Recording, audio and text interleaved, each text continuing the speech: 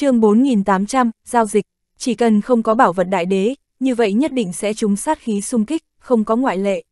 Trừ phi đối phương cũng nắm giữ sát khí xung kích, lúc này mới có thể ngăn cản, còn lại phải xem niệm lực của ai mạnh hơn.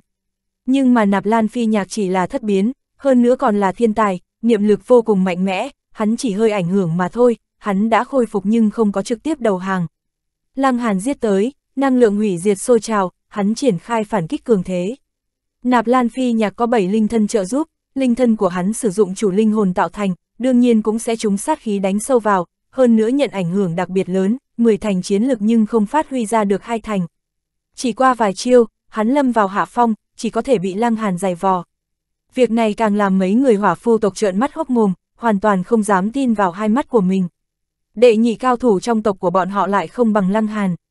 Những kẻ bên ngoài đều trâu bò như thế sao? Đủ rồi, một tiếng hừ lạnh vang lên, chỉ thấy nạp lan hỏa thụ xuất hiện, trực tiếp xuất thủ can thiệp, chiến lực hóa linh cửu biến bộc phát, Lăng Hàn cũng không dám xúc phạm phong mang, cho nên hắn chỉ có thể lui lại. Hắn bất mãn nhìn sang nạp lan phi nhạc, trong mắt mang theo của trách và ghét bỏ. Sau đó, hắn nhìn về phía Lăng Hàn, lúc này hắn nói. Lăng huynh đúng không, ngươi đã chứng minh thực lực của mình, ngươi có thể nắm giữ những nữ nhân này. Ở hỏa phu tộc, nữ nhân là một loại tài nguyên, do thực lực quyết định sở hữu. Lăng Hàn cười nhạt một tiếng, chẳng lẽ còn muốn hắn nói cảm ơn. Hắn xuất lĩnh đám người rời đi, đi vào cung điện kế tiếp. Có lẽ trừ tiểu hồng điều ra, những người khác không có khả năng mở ra cung điện. Nhưng mà Lăng Hàn đặt mục tiêu chủ yếu không phải tìm cung điện thứ năm, mà là muốn tìm kiếm tiên dược, từ đó mau chóng gia tăng tu vi. Nhưng tiên dược là thứ chỉ có thể ngộ mà không thể cầu, trước đó gặp được bầy ong cùng hỏa dược sư đều chỉ là trùng hợp, hiện tại hắn chủ động tìm kiếm vẫn lãng phí thời gian vô ích. Hay chúng ta làm ăn với hỏa phu tộc? Đại hắc cầu đề nghị, thế nào, người muốn mua nữ nhân của bọn họ sao? Tiểu Thanh Long trêu ghẹo, đi, người lớn nói chuyện, tiểu hài tử nên im lặng. Đại hắc cầu đầu tiên đạp tiểu Thanh Long một cước, sau đó lại nói. Hỏa phu tộc là thổ địa tại nơi này, qua nhiều năm như thế, khẳng định sẽ có không ít tích lũy. Ân, đám người đều là gật đầu, nếu không tại sao đám người nạp lan phi nhạc còn trẻ như vậy không có khả năng đạt tới hóa linh cảnh như hiện tại. Nhưng mà, chúng ta nên đi cung điện kế tiếp, từ đó nắm giữ chìa khóa trong tay, bằng không chuyện chúng ta đạt được chìa khóa trong cung điện trước đó sẽ không gạt được. Bọn họ tiếp tục đi tới, sau khi đi vào cung điện kế tiếp, chỉ thấy nơi này quả nhiên có thật nhiều người đang canh chừng, cũng giống như trước đó. Lăng Hàn tiến lên, lợi dụng tiểu hồng điều tùy tiện mở cửa lớn ra, hắn tự nhiên cũng thuận lợi đạt được chìa khóa. Bọn họ trở về, mấy ngày sau, trở lại hỏa phu tộc. Lăng Hàn trực tiếp yêu cầu gặp chín trưởng lão, nói hắn đạt được đồ vật trong cung điện. Chỉ chốc lát, một tên trưởng lão ra mặt đứng ở trước mặt Lăng Hàn. Đầu tiên cần nói một chút, người đạt được món đồ kia là cái gì? Người trưởng lão kia xếp hạng thứ năm, hắn ở trần, trên lưng có một hình xăm rất lớn. Lăng Hàn hiện tại đã biết rõ, diện tích hình xăm lớn nhỏ quyết định thời gian và cường độ bộc phát của hỏa phu tộc, cho nên, mặc dù lão đầu này có khả năng chỉ là hóa linh thất biến hoặc bát biến nhưng lực bộc phát chưa hẳn kém nạp lan hỏa thụ. Hắn cười nhạt một tiếng, chìa khóa, hắn vừa nói ra lời này, ngũ trưởng lão lập tức nở nụ cười, gật gật đầu. Rất tốt, chúng ta có thể trao đổi với nhau. Người trẻ tuổi, người muốn trao đổi cái gì? Thứ nhất, ta muốn biết tác dụng của chìa khóa. Thứ hai, muốn trao đổi chìa khóa cũng không sao, dùng tiên quả đến đổi. Lăng Hàn mở ra điều kiện, hắn thực sự không ngại giao chìa khóa ra, bởi vì hắn tin tưởng, chỉ có một chìa khóa là vô dụng, nếu không, hỏa phu tộc cũng không cần chìa khóa làm gì. Ngũ trưởng lão trầm ngâm một lúc, nói, đây là xào huyệt chân hoàng, người tự nhiên đã biết rõ, mà năm đó chân hoàng đại nhân có 9 tên đại tướng thủ hạ, đều là cấp bậc thánh nhân. 9 đại tướng và chân hoàng đại nhân ở lại chỗ này, bảo vệ chân hoàng đại nhân. Cho nên, chân hoàng điện nằm ở trung tâm, mà 9 đại tướng điện thì phân bố ở bốn phía. Hiện tại, khu vực trung tâm bị trận pháp đại đế phong tỏa, chỉ có chìa khóa của 9 đại điện mới có thể phá vỡ trận pháp. Mặt khác, bên trong mỗi tòa cung điện đều cất giấu một thanh chìa khóa, tập hợp đủ 9 thanh chìa khóa thì có thể mở ra chân hoàng điện, thu hoạch được chân hoàng truyền thừa. Dứt lời, ngũ trưởng lão mỉm cười. Tiểu Hữu người có thể hài lòng. Chuyện này không khác suy đoán của Lăng Hàn, nhưng Lăng Hàn tin tưởng tên ngũ trưởng lão tuyệt đối sẽ không thành thật như vậy, sẽ giải thích tất cả tư liệu cho hắn biết. Nhưng mà đối phương cụ thể che giấu cái gì, hắn không có khả năng biết rõ. Tốt, đến nói chuyện giao dịch, Lăng Hàn tươi cười, chúng ta có thể cung cấp cho người ba viên hồng lăng địa quả. Ngũ trưởng lão nói, hắn thấy Lăng Hàn lộ ra vẻ nghi hoặc, hắn giải thích nói. Hồng lăng địa quả là tiên dược ngũ tinh, nó có tác dụng gia tăng tu vi của ngươi cực lớn. Chỗ tốt lớn bao nhiêu? Lăng Hàn hỏi, nếu như chia linh thân thành 100 bước, một bước và 50 bước có thể giống nhau sao? Ngũ trưởng lão dừng một chút, mới nói, 30 viên hồng lăng quả có thể gia tăng một tiểu cảnh giới. Lăng Hàn lập tức lắc đầu, ba viên quá ít, 300 viên mới không sai biệt lắm. Ngũ trưởng lão suýt phun máu tươi, ngươi thật sự biết dùng công phu sư tử ngoạm, 300 viên. Ngươi cho rằng ta sẽ bán toàn bộ gia sản của hỏa phu tộc cho ngươi. Không có khả năng, hắn quả quyết lắc đầu, cho dù hắn bị điên đáp ứng yêu cầu của Lăng Hàn, hỏa phu tộc cũng không có nhiều hồng lăng địa quả như vậy. Được, một người lui một bước, 150 đi. Lăng Hàn cười nói, đương nhiên hắn biết đối phương không thể tiếp nhận điều kiện của mình, hắn chỉ đầy giá lên mà thôi. 10 viên, ngũ trưởng lão cũng nâng giá, có chút thành ý nha. Lăng Hàn cười một tiếng, ngũ trưởng lão hừ một tiếng. Phải biết, tất cả có 9 thanh chìa khóa, chúng ta đạt được một thanh ở chỗ của ngươi, cũng không gom góp được các chìa khóa khác, có cũng vô dụng. Lăng Hàn gật đầu, không sai, nhưng ít đi một thanh của ta, ngươi có cầm 8 cái khác cũng vô dụng. Đây chính là vì cái gì Lăng Hàn chịu bán, ngược lại bản thân hỏa phu tộc đã có một thanh chìa khóa, cho nên nhắn chỉ cần bảo đảm trong tay có một thanh chìa khóa là đủ rồi, như vậy hắn có thể nắm quyền chủ động. Ngũ trưởng lão lại suy tính một chút, lúc này hắn lại nâng giá, 50 viên. Lăng Hàn nhìn một chút, cảm giác việc này đã tiếp cận giới hạn tâm lý thấp nhất của hỏa phu tộc. 80 viên, đương nhiên, hắn vẫn tiếp tục tranh thủ một chút. chương 4801, Tu Vi tăng mạnh. Cuối cùng, Lăng Hàn và ngũ trưởng lão đạt thành hiệp nghị. 70 viên hồng lăng địa quả. Đối với Lăng Hàn mà nói, việc này đủ cho hắn giá tăng hai tiểu cảnh giới. Đối với ngũ trưởng lão mà nói, mặc dù số lượng hồng lăng địa quả làm hắn đau đớn nhưng không đến mức thương gân động cốt, ở trong phạm vi có thể tiếp nhận được. Thế là hai người đều vui vẻ. Lăng Hàn cố ý chạy đi một chuyến, giả bộ như đi lấy chìa khóa, sau đó lại hoàn thành giao dịch với ngũ trưởng lão. Hắn cầm những hồng lăng địa quả trong tay, bản thân hết sức hài lòng. Sau khi hắn luyện hóa toàn bộ tiên quả, tu vi của hắn có thể đạt tới ngũ biến đỉnh phong hoặc lục biến sơ kỳ. Nếu như có thể đạt tới lục biến, nếu hắn gặp lại Liên Ngọc Đường, hoàn toàn có thể quyết tranh hơn thua. Vì cái gì hắn có thể mạnh như vậy? Bởi vì hắn chính là thập hình chưa từng xuất hiện bao giờ, chất lượng chân ngã quá cao, cao đến mức đệ cửu hình theo không kịp. Cho nên, hắn khi mỗi lần tăng lên một tiểu cảnh giới, thực lực của hắn sẽ tăng lên rất kinh khủng. Đương nhiên, hiện tại hắn chỉ là tam biến hậu kỳ, bàn việc này còn quá sớm. Những hồng lăng địa quả này, lăng hàn không phân cho những người khác. Trong những người bọn họ, là hắn nắn giữ năng lực gánh vác một phương, cho nên lăng hàn làm việc nhân đức không nhường ai. Hắn nói với đám người nữ hoàng một lần, lúc này đi tìm chỗ luyện hóa hồng lăng địa quả. Lấy ra một viên, hắn dùng nước rửa sạch và ăn. Quả không lớn, hắn cắn vài cái là ăn sạch, chỉ chốc lát, lăng hàn cảm giác thân thể nóng rực, đó là lực lượng thần bí tác dụng, hiệu quả có phần tương tự như cửu đằng hỏa nguyên quả nhưng còn kém hơn rất nhiều. Dược lực này không phải tỏa ra một lần, mà là chậm rãi, chậm rãi phóng xuất ra. Điều này cũng làm cho Lăng Hàn có tu đế kinh cũng không có tác dụng gì, chỉ có thể mặc cho dược lực phát huy thật chậm. Dòng dã một ngày sau đó, dược lực của Hồng Lăng địa quả mới phát huy toàn bộ và bị Lăng Hàn hấp thu, từ đó tu vi của hắn có tiến bộ nho nhỏ. Nếu tính ra, muốn luyện hóa tất cả Hồng Lăng địa quả sẽ mất 70 ngày. Tốt, trong đoạn thời gian này, hắn phải khiêm tốn một chút.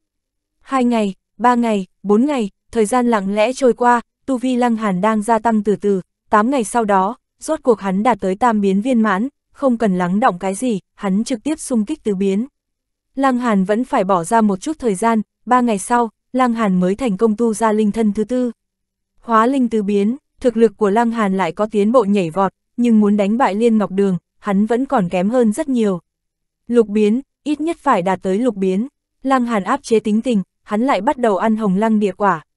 Tu vi của hắn tăng lên lần nữa, không chỉ ở cấp độ bí lực, thể thuật cũng không giảm xuống, hắn vận chuyển thiên long đế quyết cũng có hiệu quả hấp thu dược lực hồng lăng địa quả. Một tháng trôi qua, hắn tu linh thân thứ tư tới viên mãn. Hắn lắng động một ngày và bắt đầu xung kích thứ ngũ biến.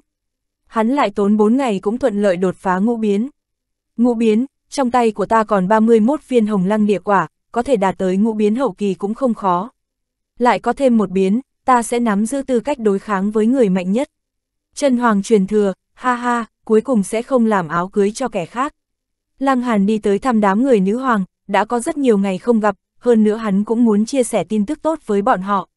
Nhưng khi hắn đi vào vị trí của đám người nữ hoàng, hắn thấy nơi này xuất hiện vài người xa lạ, dường như đang thủ vệ và dò xét bốn phía. Đây đều là hỏa phu tộc người, trên cánh tay của bọn họ đều có hỏa diễm hình xăm, liếc mắt liền có thể phân biệt ra tới. Dừng lại, thấy Lăng Hàn đi tới, đứng tại hắn cái phương hướng này người lập tức hướng về hắn đưa tay ra, ra hiệu hắn dừng bước. a đây là ý gì? Vì cái gì? Lăng Hàn hỏi, hai mỹ nữ này đã bị hỏa thụ đại nhân coi trọng, cho nên, người không muốn chết thì cút xa một chút. Người kia xem như giải thích một câu, nhưng trong lời nói lại đầy uy hiếp. Lăng Hàn cau mày, còn tới.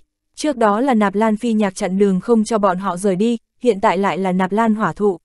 Hắn cười nhạt một tiếng, trước tiên khen một câu, ánh mắt nạp lan hỏa thụ không tồi, nhưng em mờ hắn coi trọng chính là nữ nhân của ta, mà ta xưa nay không thích kẻ khác ngấp nghé nữ nhân của ta. Nữ nhân của ngươi, người kia cười lạnh, nói, đã bị hỏa thụ đại nhân coi trọng, từ nay về sau không có quan hệ gì với ngươi.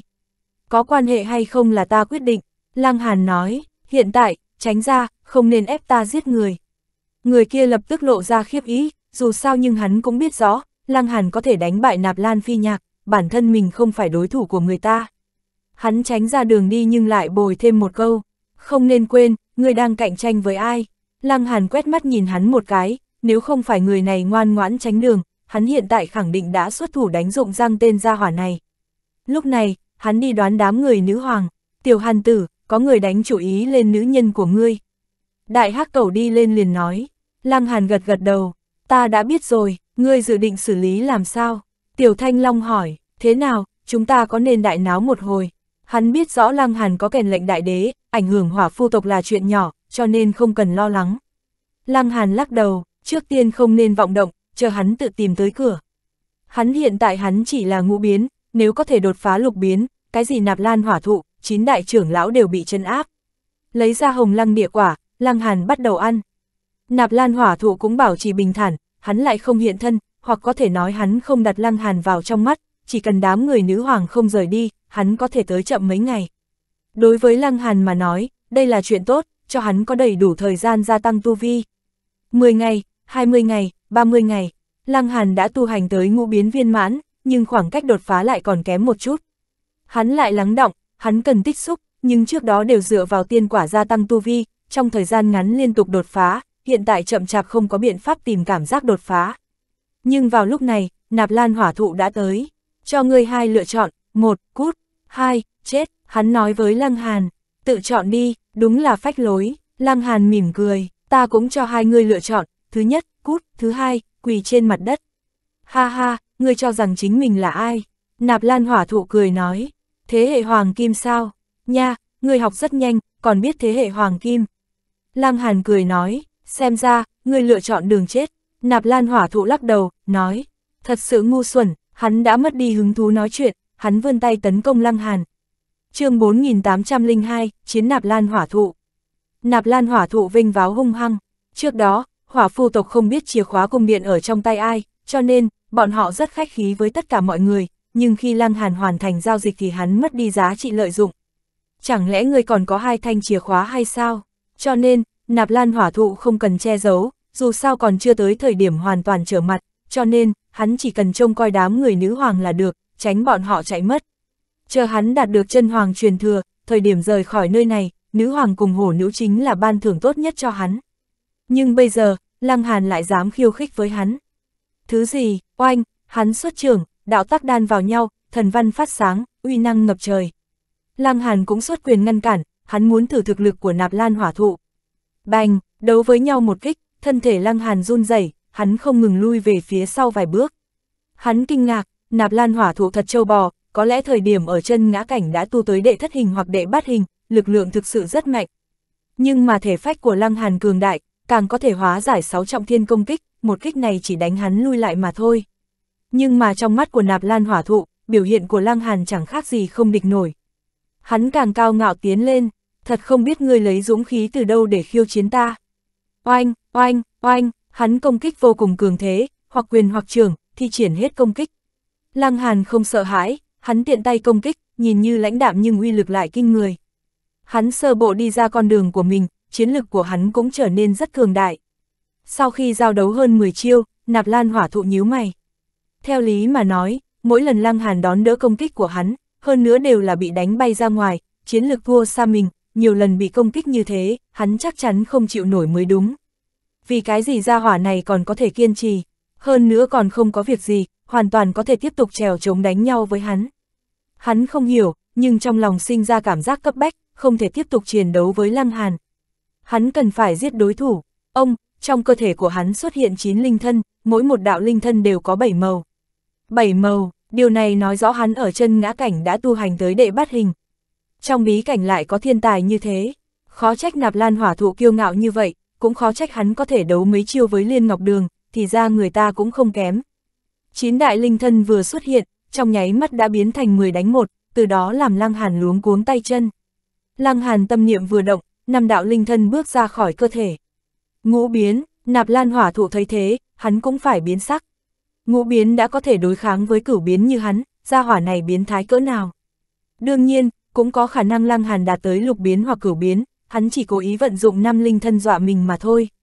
Ngươi không thể nào là ngũ biến. Hắn lập tức nói, trên đời này không có biến thái như vậy. Hắn đã là yêu nghiệt mạnh nhất, làm sao có thể có người vượt qua hắn. Ếch ngồi đáy giếng, Lăng Hàn từ tốn nói, mang theo năm đại linh thân triển khai phản kích. Nói đến số lượng linh thân, Lăng Hàn đương nhiên không bằng nạp lan hỏa thụ, nhưng chất lượng linh thân của hắn lại cao hơn, bởi vậy, cho dù là 6 đánh 10 thì hắn cũng không bại.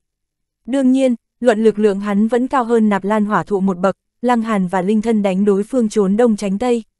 Sau khi chiến đấu lâu như thế, Lăng Hàn đã hiểu rõ thực lực của nạp lan hỏa thụ, lập tức mất đi kiên trì. Ông, linh thân phát ra mạch động khó hiểu, nạp lan hỏa thụ và chín đạo linh thân của hắn giảm chiến lực rất lớn, giảm đi ba trọng thiên. Cái gì, nạp lan hỏa thụ quá sợ hãi, tại sao chiến lực của mình lại giảm ba trọng thiên?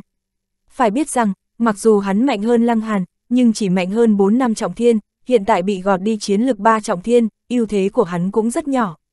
Bành, sau khi va chạm một kích, hắn đã bị Lăng Hàn đánh bay ra ra xa mấy trượng, cũng không cường thế như ban đầu. Hắn hoảng sợ thất sắc, đây là quái vật gì thế này? Không thể để ngươi sống nữa. Hắn nói ra, dẫn đầu mang theo chín đạo linh thân lao tới tấn công bản ngã của Lăng Hàn. Bắt giặc trước bắt vua, chỉ cần đánh chết Lăng Hàn, linh thân còn có thể thế nào?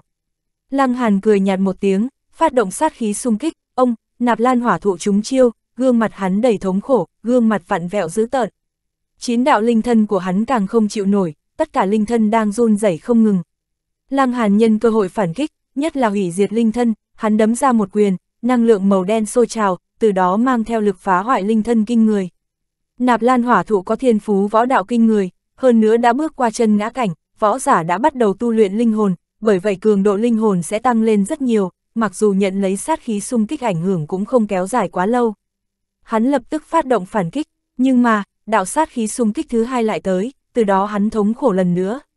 Cũng may hắn đã có chuẩn bị, mặc dù thức hải hỗn loạn nhưng bản năng phòng ngự vẫn còn. Bành, Lăng Hàn liên tục oanh tạc, hắn sử dụng tới hủy diệt linh thân và nhắm vào một linh thân của đối phương, năng lượng hủy diệt sôi trào, từ đó tạo thành uy hiếp to lớn lên linh thân kia. Sau mười mấy chiêu, nạp lan hỏa thụ đã gánh không được. Một linh thân của hắn bị năng lượng hủy diệt đánh trúng nên trọng thương, không thể không thu hồi vào trong cơ thể. Linh thân bị hao tổn, chiến lực của bản thân sẽ giảm mạnh. Phải biết, hắn chỉ mạnh hơn Lăng Hàn một hai trọng thiên, hiện tại một đạo linh thân bị thương, ưu thế này càng giảm nhỏ. Hắn cao mày, trong thời kỳ mạnh nhất hắn vẫn không thể làm gì Lăng Hàn, hiện tại một đạo linh thân bị hao tổn, nếu tiếp tục đánh, chỉ sợ hắn sẽ ăn thiệt thòi. Đáng chết, hắn hét lớn một tiếng, oanh, hình xăm trên tay tỏa ra hào quang sáng ngời. Hắn bạo phát, hỏa phu tộc cường đại nhất chính là thôi phát thần văn trên người, nhưng việc này sử dụng tiêu hao thọ nguyên trả giá, mặc dù mỗi lần bộc phát chỉ có thể tiếp tục nửa phút nhưng tiêu hao thọ nguyên lại dùng trăm năm để tính. Nếu không phải bất đắc dĩ, hỏa phu tộc sẽ không làm như vậy. Nhưng bây giờ hắn nhất định phải thắng. Oanh, khí tức của hắn tăng lên, hắn xuất trưởng, quy tắc hóa thành thanh kiếm chém Lăng Hàn. Một kích này rất mạnh, Lăng Hàn không dám ngăn cản. Dưới lực bộc phát, chiến lực của nạp lan hỏa thụ đã vượt qua Lăng Hàn 6 trọng thiên, nếu đón đỡ một kích này hắn nhất định sẽ bị thương, thậm chí có khả năng bị miểu sát. Nhưng mà, Lăng Hàn chỉ ít có hai loại biện pháp có thể phá giải cục diện này. Lăng Hàn tâm niệm vừa động, huyễn cảnh hắc mang công kích. Nạp Lan hỏa thụ dừng lại, hắn rơi vào trong mộng đẹp của mình, trong giấc mộng kia, hắn cũng thành công chém giết Lăng Hàn. chương 4803, lại làm giao dịch. Lăng Hàn không vội, hắn biết rõ Nạp Lan hỏa thụ bộc phát chỉ tiếp tục trong thời gian một lúc, cho nên, chỉ cần kéo qua thời gian nửa phút này là được. Quả nhiên, chỉ một lúc sau, trên hai tay nạp lan hồ thu bốc cháy xong. Bộc phát kết thúc, Lăng Hàn cười một tiếng, hắn xuất quyền đánh tới. Banh, nguy cơ tới gần, nạp lan hỏa thụ bản năng chống đỡ, sau đó hắn mới thoát ra khỏi huyễn cảnh. Ngươi dám hại ta, hắn gầm lên vô cùng tức giận, 100 năm thọ nguyên đấy, thế mà đã lãng phí một cách vô ích. Ánh mắt lăng hàn lạnh lẽo, hắn thản nhiên nói, lập tức cút cho ta, nếu không, ta ta ti giết ngươi. Nạp lan hỏa thụ cắn răng, toàn thân đang run, hắn muốn giết chết lăng hàn cỡ nào, nhưng hiện tại hắn đã không có bộc phát, nếu cậy mạnh cứ ép rắn, kết quả chính là một linh thân của hắn sẽ bị diệt, cuối cùng thì đến phiên bản thể của hắn. Cơn tức này, hắn phải nhịn, nạp lan hỏa thụ hít một đơi thật sâu, bỗng nhiên quay đầu giận dữ rời đi. Trong ánh mắt lăng hàn bắn ra sát ý, nhưng cũng không có truy kích. Không phải hắn không muốn giết nạp lan hỏa thụ, mà là bây giờ đang ở địa bàn của hỏa phu tộc, nếu như hắn thật hạ sát thủ, những trưởng lão kia của hỏa phu tộc sẽ ngồi nhìn sao. Những trưởng lão này chiến lược bản thân không tốt lắm, nhưng trong tay những kẻ này có quải trượng kỳ quái, có thể đánh ra uy năng chuẩn giáo chủ, ngay cả Liên Ngọc Đường cũng không dám trêu chọc. Lăng Hàn vẫn chỉ là ngũ biến đỉnh phong, muốn hắn nghênh chiến chiến lực như vậy, hắn sẽ ăn thiệt thòi không nhỏ. Cho nên, hắn quyết định sẽ nhẫn nhịn trước, bởi vì đi một trận chiến này, hắn đột nhiên thu được linh cảm đột phá. Hắn lập tức ngồi xếp bằng và xung kích lục biến, người khác tuyệt đối sẽ không nghĩ đến, hắn hiện tại đang xung kích lục biến. Ai mà dám to gan và lỗ mảng như thế? Đầu tiên hắn phải khôi phục thực lực, dù sao hắn vừa mới đại chiến một trận. Hắn thành công, hỏa phu tộc cũng không ai ra tới khiêu khích hắn, giống như hắn và nạp lan hỏa thụ đánh một trận chỉ là chuyện nhỏ. Nhưng mà đám người nữ hoàng lại hiểu rõ Lăng Hàn, bọn họ ngồi xuống vây quanh Lăng Hàn vào giữa. Năm ngày sau đó, đạo linh thân thứ sáu đã là ngưng tụ thành hình thức ban đầu, cũng diễn ra đạo tắc của bản thân. Lục biến, Lăng Hàn mở hai mắt ra, hai vệt thần quang bắn ra ngoài, giống như có thể xuyên thấu bầu trời, nhưng việc này chỉ kéo dài trong nháy mắt mà thôi, thần quang phá không, đôi mắt hắn khôi phục như ban đầu, nhìn hắn không khác gì người bình thường. Lăng Hàn, người đột phá. Hổ nữ hỏi, ân, Lăng Hàn gật đầu, nói, lục biến, quá tốt rồi, hổ nữ vỗ tay, nói, chúng ta đi đánh nhau, đánh chết những vương bát đản kia. Đúng, giết chết bọn chúng, quá phách lối. Đại hắc cầu cũng gào lên, Lăng Hàn khoát khoát tay, nói, đừng nóng vội, chúng ta đi bàn chút sinh ý. Đại hắc cầu lập tức hưng phấn, với mức độ hiểu rõ của nó với Lăng Hàn, Lăng Hàn chuẩn bị hại người. Tốt tốt tốt, Lăng Hàn đứng dậy rời đi, đại hắc cầu vội vàng đuổi theo, Tiểu Thanh Long sẽ không bỏ qua náo nhiệt như vậy, nó cũng vội vàng đi theo. Bọn họ đi đến cửa cung điện, Lăng Hàn tùy tiện nói với người hỏa phu tộc, nói. Ta muốn gặp trưởng lão của các ngươi. Tên hỏa phu tộc này đã thấy qua chiến đớ giữa Lăng Hàn cùng nạp lan hỏa thụ, tự nhiên không dám thất lễ, vội vàng chạy vào cung điện. Ba người Lăng Hàn không có đi vào, bọn họ biết rõ trong cung điện có trận pháp thánh cấp, nếu như đi vào, sinh tử của bản thân chỉ nằm trong ý niệm của kẻ khác. Chỉ chốc lát, lão giả ở trần đi tới, vẫn là ngũ trưởng lão, tiểu Hữu tiến vào một lần, ngũ trưởng lão mời chào cười nói, dáng vẻ rất ôn hòa. Lăng Hàn sẽ không đồng ý, lần trước mọi người không cừu không oán, mà đối phương càng cầm được chìa khóa, tự nhiên đã đắc thủ còn dám hãm hại hắn. Hiện tại khác biệt, hắn chắc chắn sẽ không tự chui đầu vào lưới. Trong phòng không khí không tốt, nên ở ngoài nói đi. Lăng Hàn cười nói, tiểu hữu người thật đúng cẩn thận, ngũ trưởng lão lắc đầu, nói, thế nào, còn lo lắng lão phu sẽ hại ngươi hay sao? Lăng Hàn chỉ cười mà không nói, bọn họ tùy ý đi lại trong quảng trường, nhìn phong cảnh chung quanh, nói những lời vô nghĩa.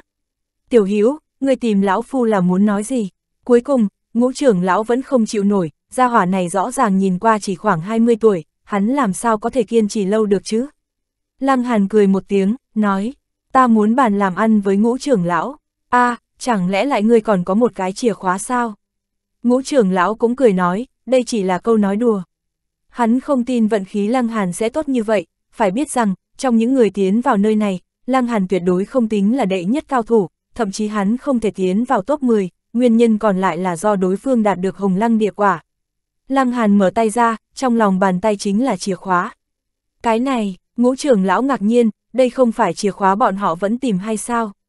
Tiểu tử này quá thần kỳ, hắn lại tìm được hai thanh chìa khóa. Quy củ cũ, 70 viên hồng lăng địa quả. Lăng Hàn cười nói, ngũ trưởng lão nhe răng, hắn có cảm giác thịt đau. Kỳ thật chỉ cần chìa khóa không có gom đủ, cho dù ngươi nắm giữ đủ tám thanh cũng chẳng có gì. Cho nên, Lăng Hàn có tới hai cây chìa khóa ra, nếu như lần trước hắn mang ra hai thanh chìa khóa, hắn sẽ có 70 viên hồng lăng địa quả, Gia hỏa này rõ ràng có hai thanh chìa khóa nhưng lại chia làm hai lần bán, hắn đang hại người sao? Tiểu Hiếu, người có chút không chính trực, ngũ trưởng lão lắc đầu, trên mặt mang theo vẻ không vui.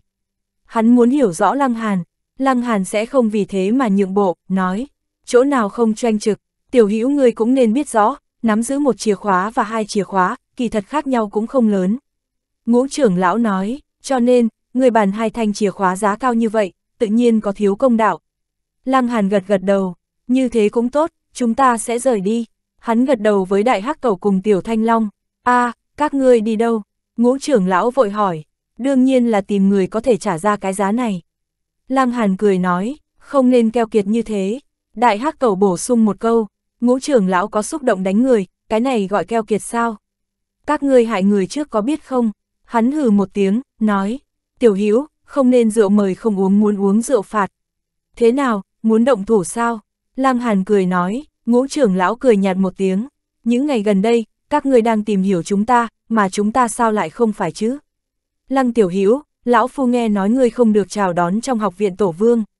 Phải không? Lăng Hàn ra vẻ kinh ngạc, hắn nhìn sang đại hắc cầu. Lão hắc, ngươi cứ nói đi, làm sao có thể, đại hắc cầu tức giận, nói, tiểu hàn tử nhà ta rất được hoan nghênh, chính là vì người gặp người thích, hoa gặp hoa nở, những người khác nghe theo lời đồn, quả thật đang vu khống tiểu hàn tử trắng trợn.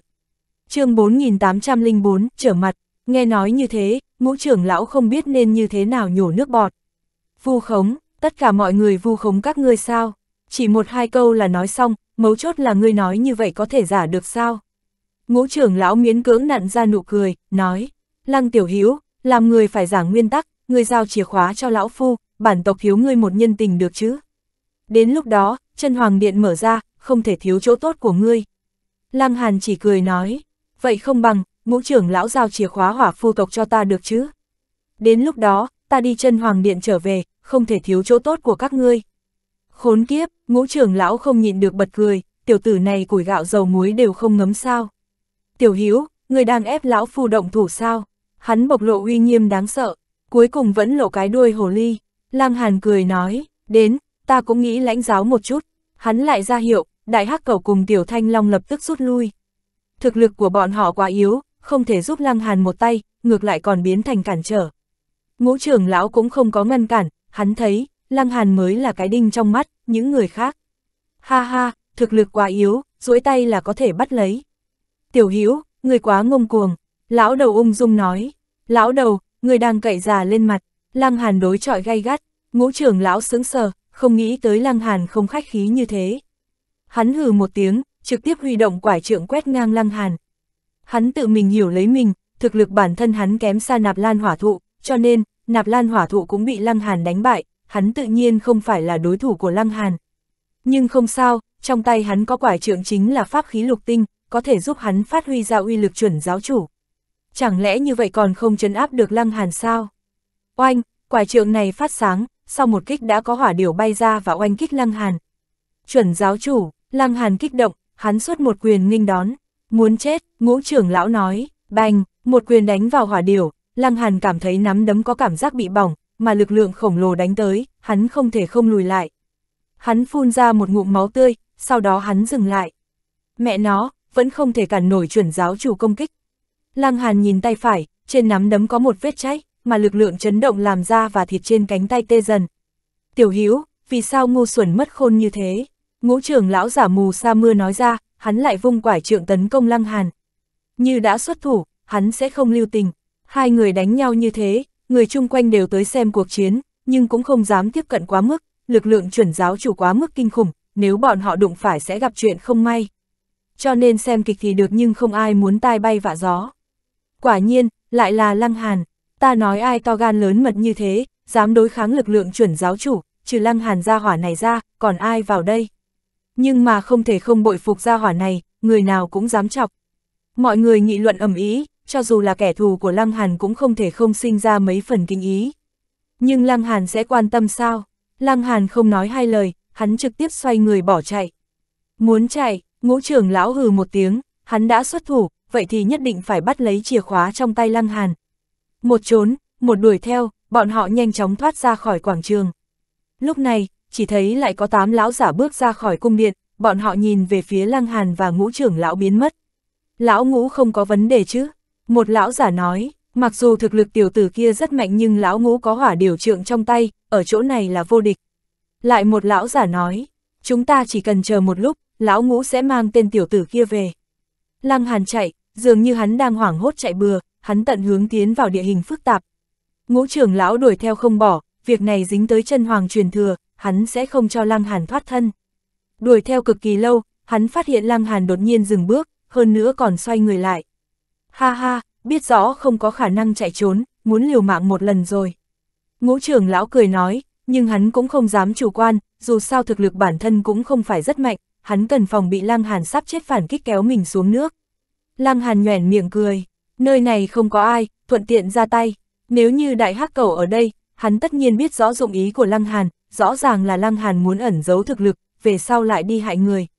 Thật không biết ngươi lấy tự tin ở đâu ra, ngũ trưởng lão hừ một tiếng, lại vung quải trượng, oanh, một con hỏa điểu bay tới tấn công Lăng Hàn. Ông, hỗn độn cực lôi tháp xuất hiện, nó chìm nổi trên đỉnh đầu của Lăng Hàn. Bành, hỏa điểu đánh tới, bảo tháp chấn động một lúc, chỉ thế mà thôi. Cái gì, ngũ trưởng lão sợ hãi, đây là pháp khí gì, lại có thể gánh được một kích của hỏa điểu trưởng. Không phải chỉ có ngươi mới có pháp khí, Lăng Hàn cười nói, thế nào, pháp khí của ta rất trâu bò đúng không? Ngũ trưởng lão cao mày, một kích vừa rồi không nói rõ uy năng của hỗn độn cực lôi tháp, nhưng bảo tháp bạo phát hỗn độn khí và lôi đình quấn quanh, hắn có cảm giác áp lực rất lớn. Phải biết, cho dù là hỏa điều trượng cũng không có trâu bò như vậy. Đây là pháp khí gì? Hắn không nhịn được hỏi. Cái này sao? Lăng Hàn dừng một chút, nói. Mẫu kim chế tạo pháp binh, cũng chính là đế binh tương lai. Phốc, ngũ trưởng lão phun máu ra ngoài, cái gì, đế binh? Không không không, đây không phải đế binh, chỉ là mấu kim chế tạo mấu kim là vật liệu cấp bậc gì. Khó trách lại cho hắn cảm giác uy nghiêm đáng sợ như vậy. Trong thời gian ngắn, hắn lập tức sinh lòng tham niệm. Chân hoàng truyền thừa chỉ là một truyền thuyết, chỉ là các đời truyền miệng nhưng không ai gặp qua, ngược lại hỏa phu tộc bọn họ nhiều thế hệ bị vây khốn tại đây cũng không biết nó có thật hay không. Nhưng pháp khí trước mặt lại là sự thật, cho ta, lão phu có thể tha cho ngươi một mạng. Ngũ trưởng lão nói, Lăng Hàn cười ha ha, ngươi cho rằng ta ngốc, cho ngươi, sau đó ngươi lại trở tay giết ta. Ha ha, ngươi cho rằng ta vận dụng đế binh là cầu xin ngươi tha thứ. Sai, ta chỉ không muốn có người biết ta có đế binh mà thôi. Chỉ cần có người khác nhìn thấy sẽ lộ ra ngoài việc cửu sơn thánh nhân không có đế binh, cho dù là cửu sơn thánh nhân, thậm chí cửu dương thánh địa cũng sẽ lâm vào hiểm cảnh. Cho nên, Lăng Hàn đã muốn vận dụng hỗn độn cực lôi tháp, nhất định không thể sử dụng trước mặt đám người, hơn nữa, nếu đã vận dụng thì phải giết người. Đến chiến, Lăng Hàn điều khiển chuẩn đế binh tấn công ngũ trưởng lão. chương 4805, oanh sát, nói đến uy lực pháp khí, kỳ thật hỗn độn cực lôi tháp không bằng hỏa điều trượng. Dù sao, hỏa điều trượng là cấp bậc lục tinh, mà hỗn độn cực lôi tháp lại bị hạn chế bởi cảnh giới của Lăng Hàn, nó chỉ có thể xem như cấp bậc ngũ tinh. Nhưng ngũ trưởng lão chỉ là hóa linh cảnh, hắn không có biện pháp thi triển hết uy lực của hỏa điều trượng, mà Lăng Hàn lại có thể làm độn cực lôi tháp tối đa hóa uy lực, hoàn toàn phát huy hết tác dụng.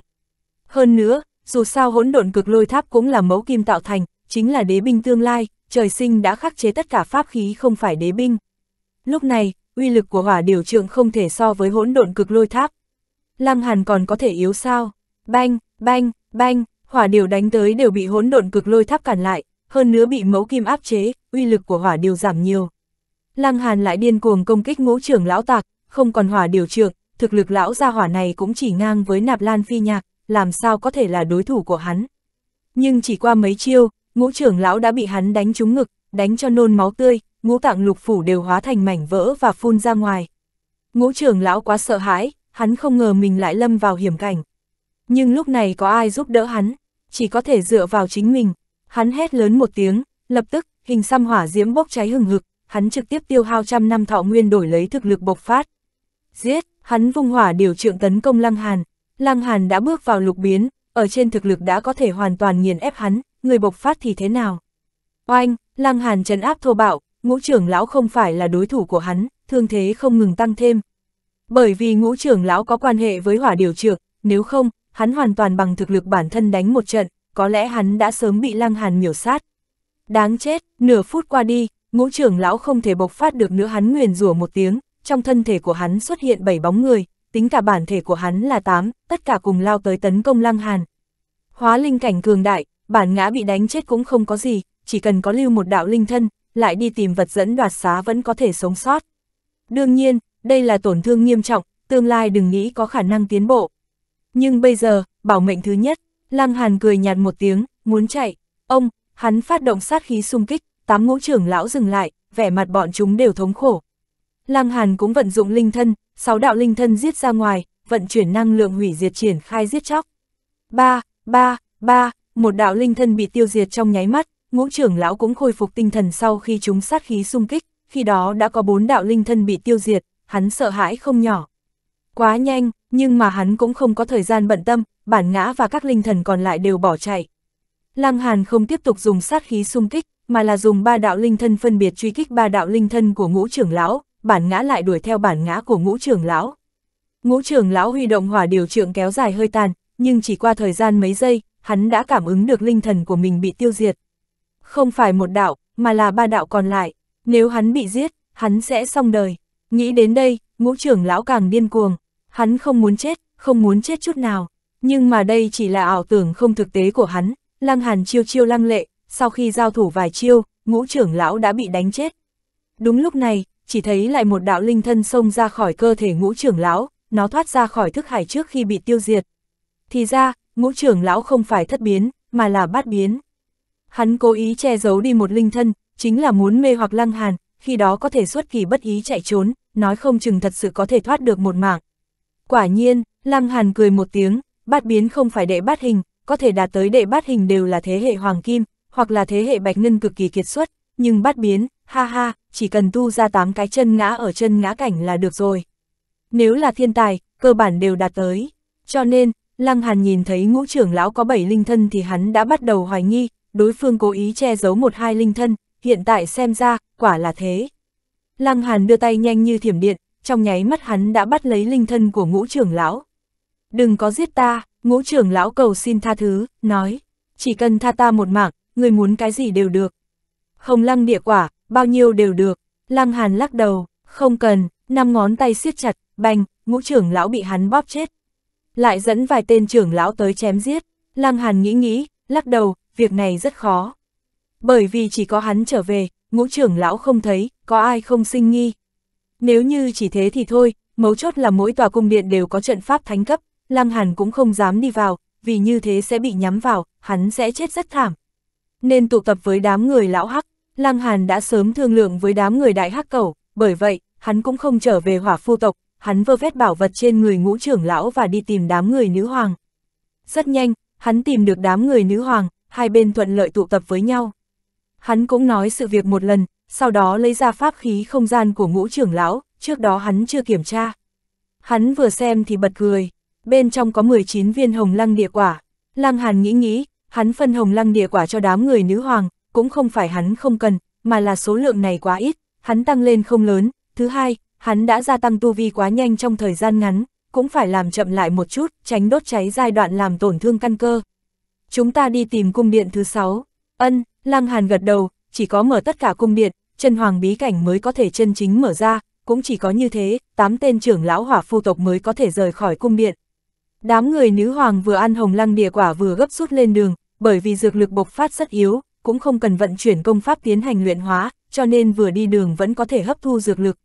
Mấy ngày sau, bọn họ đi tới tòa cung điện thứ 5, nhưng nơi này đã bị Lăng Hàn cùng Tiểu Hồng Điều chiếu cố qua, bởi vậy, bọn họ không có dừng lại và tiếp tục đi tới. Lại qua 4 ngày sau đó, bọn họ tìm được cung điện thứ 6.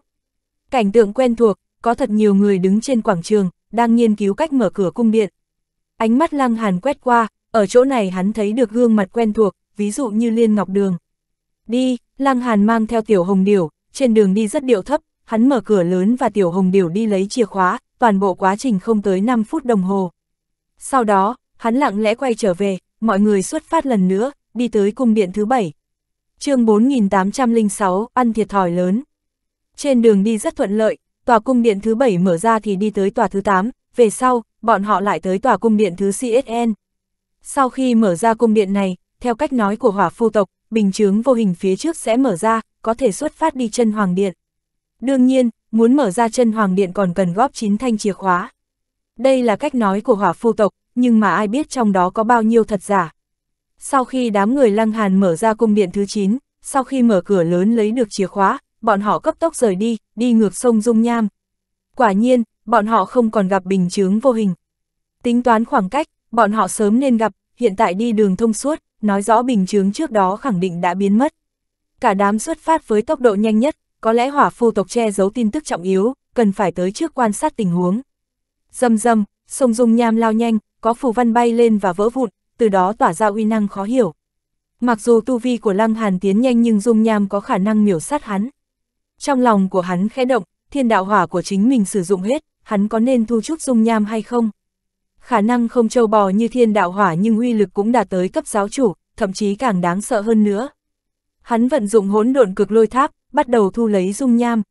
Nhưng Dung Nham như có sinh mệnh, muốn hấp thu một chút cũng lôi kéo cả Dung Nham khác theo, chúng không thể tách rời nhau ra. Thử thật nhiều lần, Lăng Hàn lại không thu hoạch được gì. a à, đó là cái gì? Đại hắc cầu chỉ về phía trước, mọi người đều nhìn, chỉ thấy nơi đó có hòn đảo đang lơ lửng, nó trôi theo dòng sông Dung Nham. Hỏa quy, Lăng Hàn lại nói, đến chiếu cố nó, Lăng Hàn vuốt vuốt tay áo, trước đó hắn không thể làm gì hỏa quy, nhưng bây giờ hắn bước vào lục biến, hắn còn sợ ai trong hóa linh cảnh hay sao? Các ngươi thối lui sang một bên, cẩn thận bị dung nham làm bị thương. Hắn nói với đám người nữ hoàng, uy lực của dung nham rất đáng sợ, vạn nhất bị dính vào sẽ bị thương nặng, thậm chí bị miểu sát. Lăng Hàn xông về phía trước, thân thể ra tốc, hắn cách hòn đảo càng ngày càng gần. Hỏa lão quy, đến, chúng ta tái chiến một trận. Hắn cười ha ha, chủ động xuất kích và xuất ra một quyền. Xoạt, dung nham phá vỡ, một con hỏa quy to lớn xuất hiện, mai rùa có đầy hoa văn đỏ sậm. a dường như là lạ, Lăng Hàn nói thầm trong lòng, hắn đã xuất quyền, làm sao có thể thu lại. Dường như hỏa quy bị chọc giận, một bàn chân của nó đạp Lăng Hàn, ầm ầm, uy lực khủng bố vô biên. Mẹ nó, hỏa quy vừa ra tay, Lăng Hàn đã biết không thích hợp ở nơi nào. Căn bản không phải cùng một con, con này còn lớn hơn, mà cảnh giới cũng cao hơn. Không phải cao hơn một chút, mà là cao hơn rất nhiều. Giáo chủ, phải biết, nơi này hạn chế cảnh giới người tiến vào, sinh linh bên trong cũng chỉ là hóa linh cảnh, dường như có lực lượng kỳ dị hạn chế, không có khả năng xuất hiện sinh vật vượt qua hóa linh cảnh. Có ai nghĩ tới, đột nhiên sẽ xuất hiện một đầu sinh linh cấp giáo chủ. Hiểu rồi, sau khi vượt qua bình chướng, cho nên hoàn cảnh hoàn toàn khác biệt. Ấn tượng ban đầu giữa vai trò chủ đạo đã hại người. Lăng Hàn thở dài, hắn vội vàng dùng toàn lực, hưu hưu hưu, sáu cái linh thân ra hết, hỗn độn cực lôi tháp xuất hiện, băng nguyệt đao chém xuống, năng lượng hủy diệt sôi trào. Sát khí xung kích, huyễn cảnh hắc mang hay kèn lệnh đại đế, hắn không ngừng sử dụng tất cả át chủ bài. Không có biện pháp, ai bảo hắn chọc một sinh linh cấp giáo chủ. Hiện tại cần phải dùng toàn lực bảo mệnh, bành, hỏa quy đạp xuống, lăng hàn chống cự chẳng khác gì bọ ngựa đá xe, căn bản không chịu nổi một kích, hắn bị đạp trúng. Lăng hàn, tất cả mọi người kêu lên, đây là tình huống như thế nào, lăng hàn tự tin giết ra ngoài, kết quả lại bị một chiêu đánh ngã. Lúc này, hỏa quy cũng nâng chân lên, xèo, một bóng người bay ra ngoài. Chính là Lăng Hàn, nhưng mà hắn không bị đánh chết, dáng vẻ của hắn cũng thê thảm tới cực hạn, sáu cái linh thân đều uể oải không chịu nổi, bản ngã cũng đầy vết máu, thậm chí có thể nhìn thấy xương trắng, hiển nhiên, hắn đã trọng thương. Nhưng bây giờ bảo mệnh quan trọng, Lăng Hàn phi nước đại. May mắn, mọi người không có tiếp cận, bây giờ thấy Lăng Hàn chạy hùng hục, bọn họ không do dự xoay người bỏ chạy, bọn họ giữ vững khoảng cách với Lăng Hàn, tránh hỏa quy đột nhiên truy kích bọn họ. Lăng Hàn không ngừng thổi kèn lệnh đại đế, hắn không ngừng trở ngại hỏa quy truy kích, sau khi tiêu hao một giờ, đầu hỏa quy mới đình chỉ truy kích, nó quay người đi trở lại. 3. Lăng Hàn đặt mông ngồi xuống, nhè răng nhếch miệng, khó chịu không gì sánh được. Lúc này, đám người nữ hoàng chạy tới hỏi thăm, Lăng Hàn thật sự bị trọng thương, xương cốt đứt gãy mấy cây, nội thương rất nặng, linh thân cũng tổn hao nhiều, nhưng hắn vẫn không chết, hơn nữa cũng không có tổn thương không khôi phục được. Như vậy cũng tốt, mọi người thở ra, sau đó bắt đầu trêu chọc, ngươi đã làm cái gì thế? Đại hắc cầu ra vẻ mặt kỳ quái hỏi, ngươi không phải đi đánh rùa hay sao, tại sao suýt bị rùa dẫm chết? Tiểu Thanh Long cười to, việc này gọi là trang bức không thành sẽ bị xét đánh. Ha ha ha, tất cả mọi người cười to, tất cả đều châm chọc hắn gặp tai họa, Lăng Hàn buồn bực, đúng là bạn xấu. Không cho phép các người ức hiếp Lăng Hàn của nữ. Hổ nữ chống nạnh, tức giận, Lăng Hàn cảm thấy vui mừng, vẫn là kiều thê rất tốt. Lăng Hàn chỉ có thể bị nữ ức hiếp. Hổ nữ nói tiếp, Lăng Hàn, ai, lần này hình tượng bị hủy hết rồi. Cả đời anh minh thần võ, kết quả bởi vì một con rùa mà thân bại danh liệt, buồn bực, quá buồn bực. Tốt, nhớ kỹ các ngươi, Lăng Hàn nói, ha ha ha, tất cả mọi người cười to. Lăng Hàn lập tức phục dụng đan dược, sau đó hắn vận chuyển thiên long đế quyết, đây là công pháp thể tu, nó có trợ giúp khôi phục thương thế rất tốt. Lúc này, mọi người sẽ không cười Lăng Hàn, bọn họ thủ hộ chung quanh. Dòng dã 5 ngày qua đi, rốt cuộc Lăng Hàn mới khôi phục hơn phân nửa, nhưng muốn khôi phục hoàn toàn, không có thời gian 2-3 tháng thì đừng mơ tưởng. Không sao, hiện tại chỉ ít có thể chiến đấu. Lăng Hàn nói, mặc dù hắn có thể phát huy năm thành thực lực, nhưng chỉ cần đừng gặp gỡ thế hệ hoàng kim như Liên Ngọc Đường thì hắn có thể quét ngang như thường. Thực sự không có vấn đề. Đại Hắc Cầu hỏi, đương nhiên, mọi người xuất phát, tiếp tục đi tới, nhưng sau khi ăn thua thiệt, bọn họ tự nhiên sẽ không tới gần dòng sông Dung Nham. Chủ động trêu chọc tồn tại cấp giáo chủ mà không chết chính là vận khí, nhưng cũng không thể có vận khí tốt như vậy mãi, cho nên bọn họ mới cẩn thận. chương 4807, bắt cóc tống tiền. Không đi qua bờ sông, bọn họ đi vào rừng rậm nguyên thủy. Kỳ thật, nơi này cũng chưa chắc an toàn, từng cây đại thụ mọc trên mặt đất, phiến lá như lửa, phía trên còn có hỏa diều rừng chân, có chút động tính sẽ kinh động bọn nó, chúng sẽ lao tới tấn công. Chiến lực bản thân hỏa điều không mạnh, sau khi giết sẽ tự bạo, uy lực của nó không phải đùa giỡn, có lẽ đại năng giáo chủ cũng phải trốn tránh, thà rằng dây vào hỏa quy còn hơn. Đám người lăng hàn cẩn thận từng chút, bọn họ không dám kinh động đám hỏa điều. Bọn họ không ngừng tiến lên, mấy ngày sau đã không phát hiện hỏa điều. Cây vẫn là cây nhưng hỏa điều không còn, ngay từ đầu bọn họ còn không dám thả lỏng chủ quan, sau khi đi tới nơi này, lại phát hiện hỏa điều thực sự biến mất. Nhưng mà lang hàn cau mày, tiểu hàn tử, tại sao ngươi cao có như thế? Đại hắc cầu cười nói, lang hàn lắc đầu, hỏa điều biến mất, nơi này có khả năng có tồn tại khủng bố hơn. Uy, người cũng không cần dọa người. Đại hắc cầu sợ run cả người. Sắc chư kêu chi chi, ý là, sớm biết như thế, chư ra nên lưu lại học viện tán gái, hỗn đản. Ngươi không phải sớm biết nói chuyện, tại sao không nói? Đại hắc cầu đạp nó một cước, cẩn thận một chút sẽ không sai. Lăng Hàn nghiêm túc nói ra, nghĩ lại Lăng Hàn nói cũng có đạo lý, hơn nữa cẩn thận sẽ không gây ra sai lầm lớn, dù sao cũng tốt hơn hối hận khi xảy ra chuyện. Đột nhiên Lăng Hàn nghe được tiếng lá cây ma sát, hắn đưa tay nhấn một cái, ra hiệu mọi người dừng lại. Người phát hiện cái gì? Chỉ mộng hàm hỏi, Lăng Hàn nhìn về phía đỉnh đầu, phía trên có thứ gì đó, là cái gì? Hổ nữ hiếu kỳ, có thể ăn không? Lăng Hàn phát động nhãn thuật, thị lực xuyên thấu phiến lá, hắn dò xét và kinh ngạc. Hầu tử, hắn nói, hầu tử, mọi người nhìn nhau, hầu tử rất đáng sợ sao? Đúng lúc này, xa xa xa, phiến lá ma sát càng lớn, sau đó nhìn thấy một cái đầu khỉ ló ra, nho nhỏ, nó chỉ lớn như nắm tay, bộ lông đỏ rực như lửa, con mắt có màu sắc tương tự, thân thể nhỏ nhắn nhưng hành động linh hoạt. Bởi vì quan hệ với hầu ca, Lăng Hàn có hảo cảm trời sinh với hầu tử, hắn tươi cười và vẫy tay với hầu tử. Tiểu hầu tử cũng học theo, nó vẫy tay với Lăng Hàn. Tiểu hầu tử, cho người ăn. Hổ nữ lấy ra một cái đùi gà, ba, nàng ném về phía tiểu hầu tử. Nhưng mà tiểu hầu tử cũng không có tiếp đùi gà, dường như bị chọc giận, ôm lấy nhánh cây đung đưa, ào ào ào, lá cây đỏ rực rơi xuống như mưa. Những lá cây này không phải bình thường, mà là hỏa diễm thiêu đốt. Lăng Hàn vội vàng mở ra tinh thần hộ thuẫn bảo vệ mọi người vào trong. Lá rụng, oanh, oanh, oanh, tinh thần hộ thuẫn không ngừng bộc phát hào quang, thậm chí có dấu hiệu hòa tan. Sức nóng thật đáng sợ, ao ao ao, tiểu hầu tử vẫn lắc lư, có càng nhiều lá cây rơi xuống. Khốn kiếp, người còn chưa chơi xong, Lăng Hàn lập tức vận dụng sát khí xung kích công kích, ông, động tác của tiểu hầu tử dừng lại, sau đó nó rơi ra khỏi cây. Hổ nữ nhanh tay lẹ mắt đỡ lấy, nàng nâng tiểu hầu tử lên. Hi hi, chơi vui, nàng cười nói, con mắt híp lại thành vành trăng khuyết. Nơi này thật nguy hiểm, chỉ mộng hàm cảm khái, hầu tử này có tu vi sinh đan cảnh nhưng đã tạo thành uy hiếp cho bọn họ, nếu chủ quan, thậm chí sẽ bị nó gây thương tích. Xa xa xa, lá cây ma sát lớn hơn. Không được, Lăng Hàn ngưng mắt, hắn khiếp sợ và nói. Lại tới một đám hầu tử. Một con hầu tử chiến lực không mạnh, hỏa điều còn biết tự bạo, hầu tử lắc lắc lá cây còn đáng sợ hơn. Lăng Hàn dùng bàn tay hóa đao chém vào nhánh đại thụ. Lực lượng đáng sợ quét qua, đại thụ bị chém ngang và ngã xuống. Mọi người nhìn thấy như thế liền hiểu ý, bọn họ bắt đầu chém vào đại thụ chung quanh. Qua mấy lần, toàn bộ đại thụ gần đó ngã xuống, từ đó tạo ra một khu vực trống.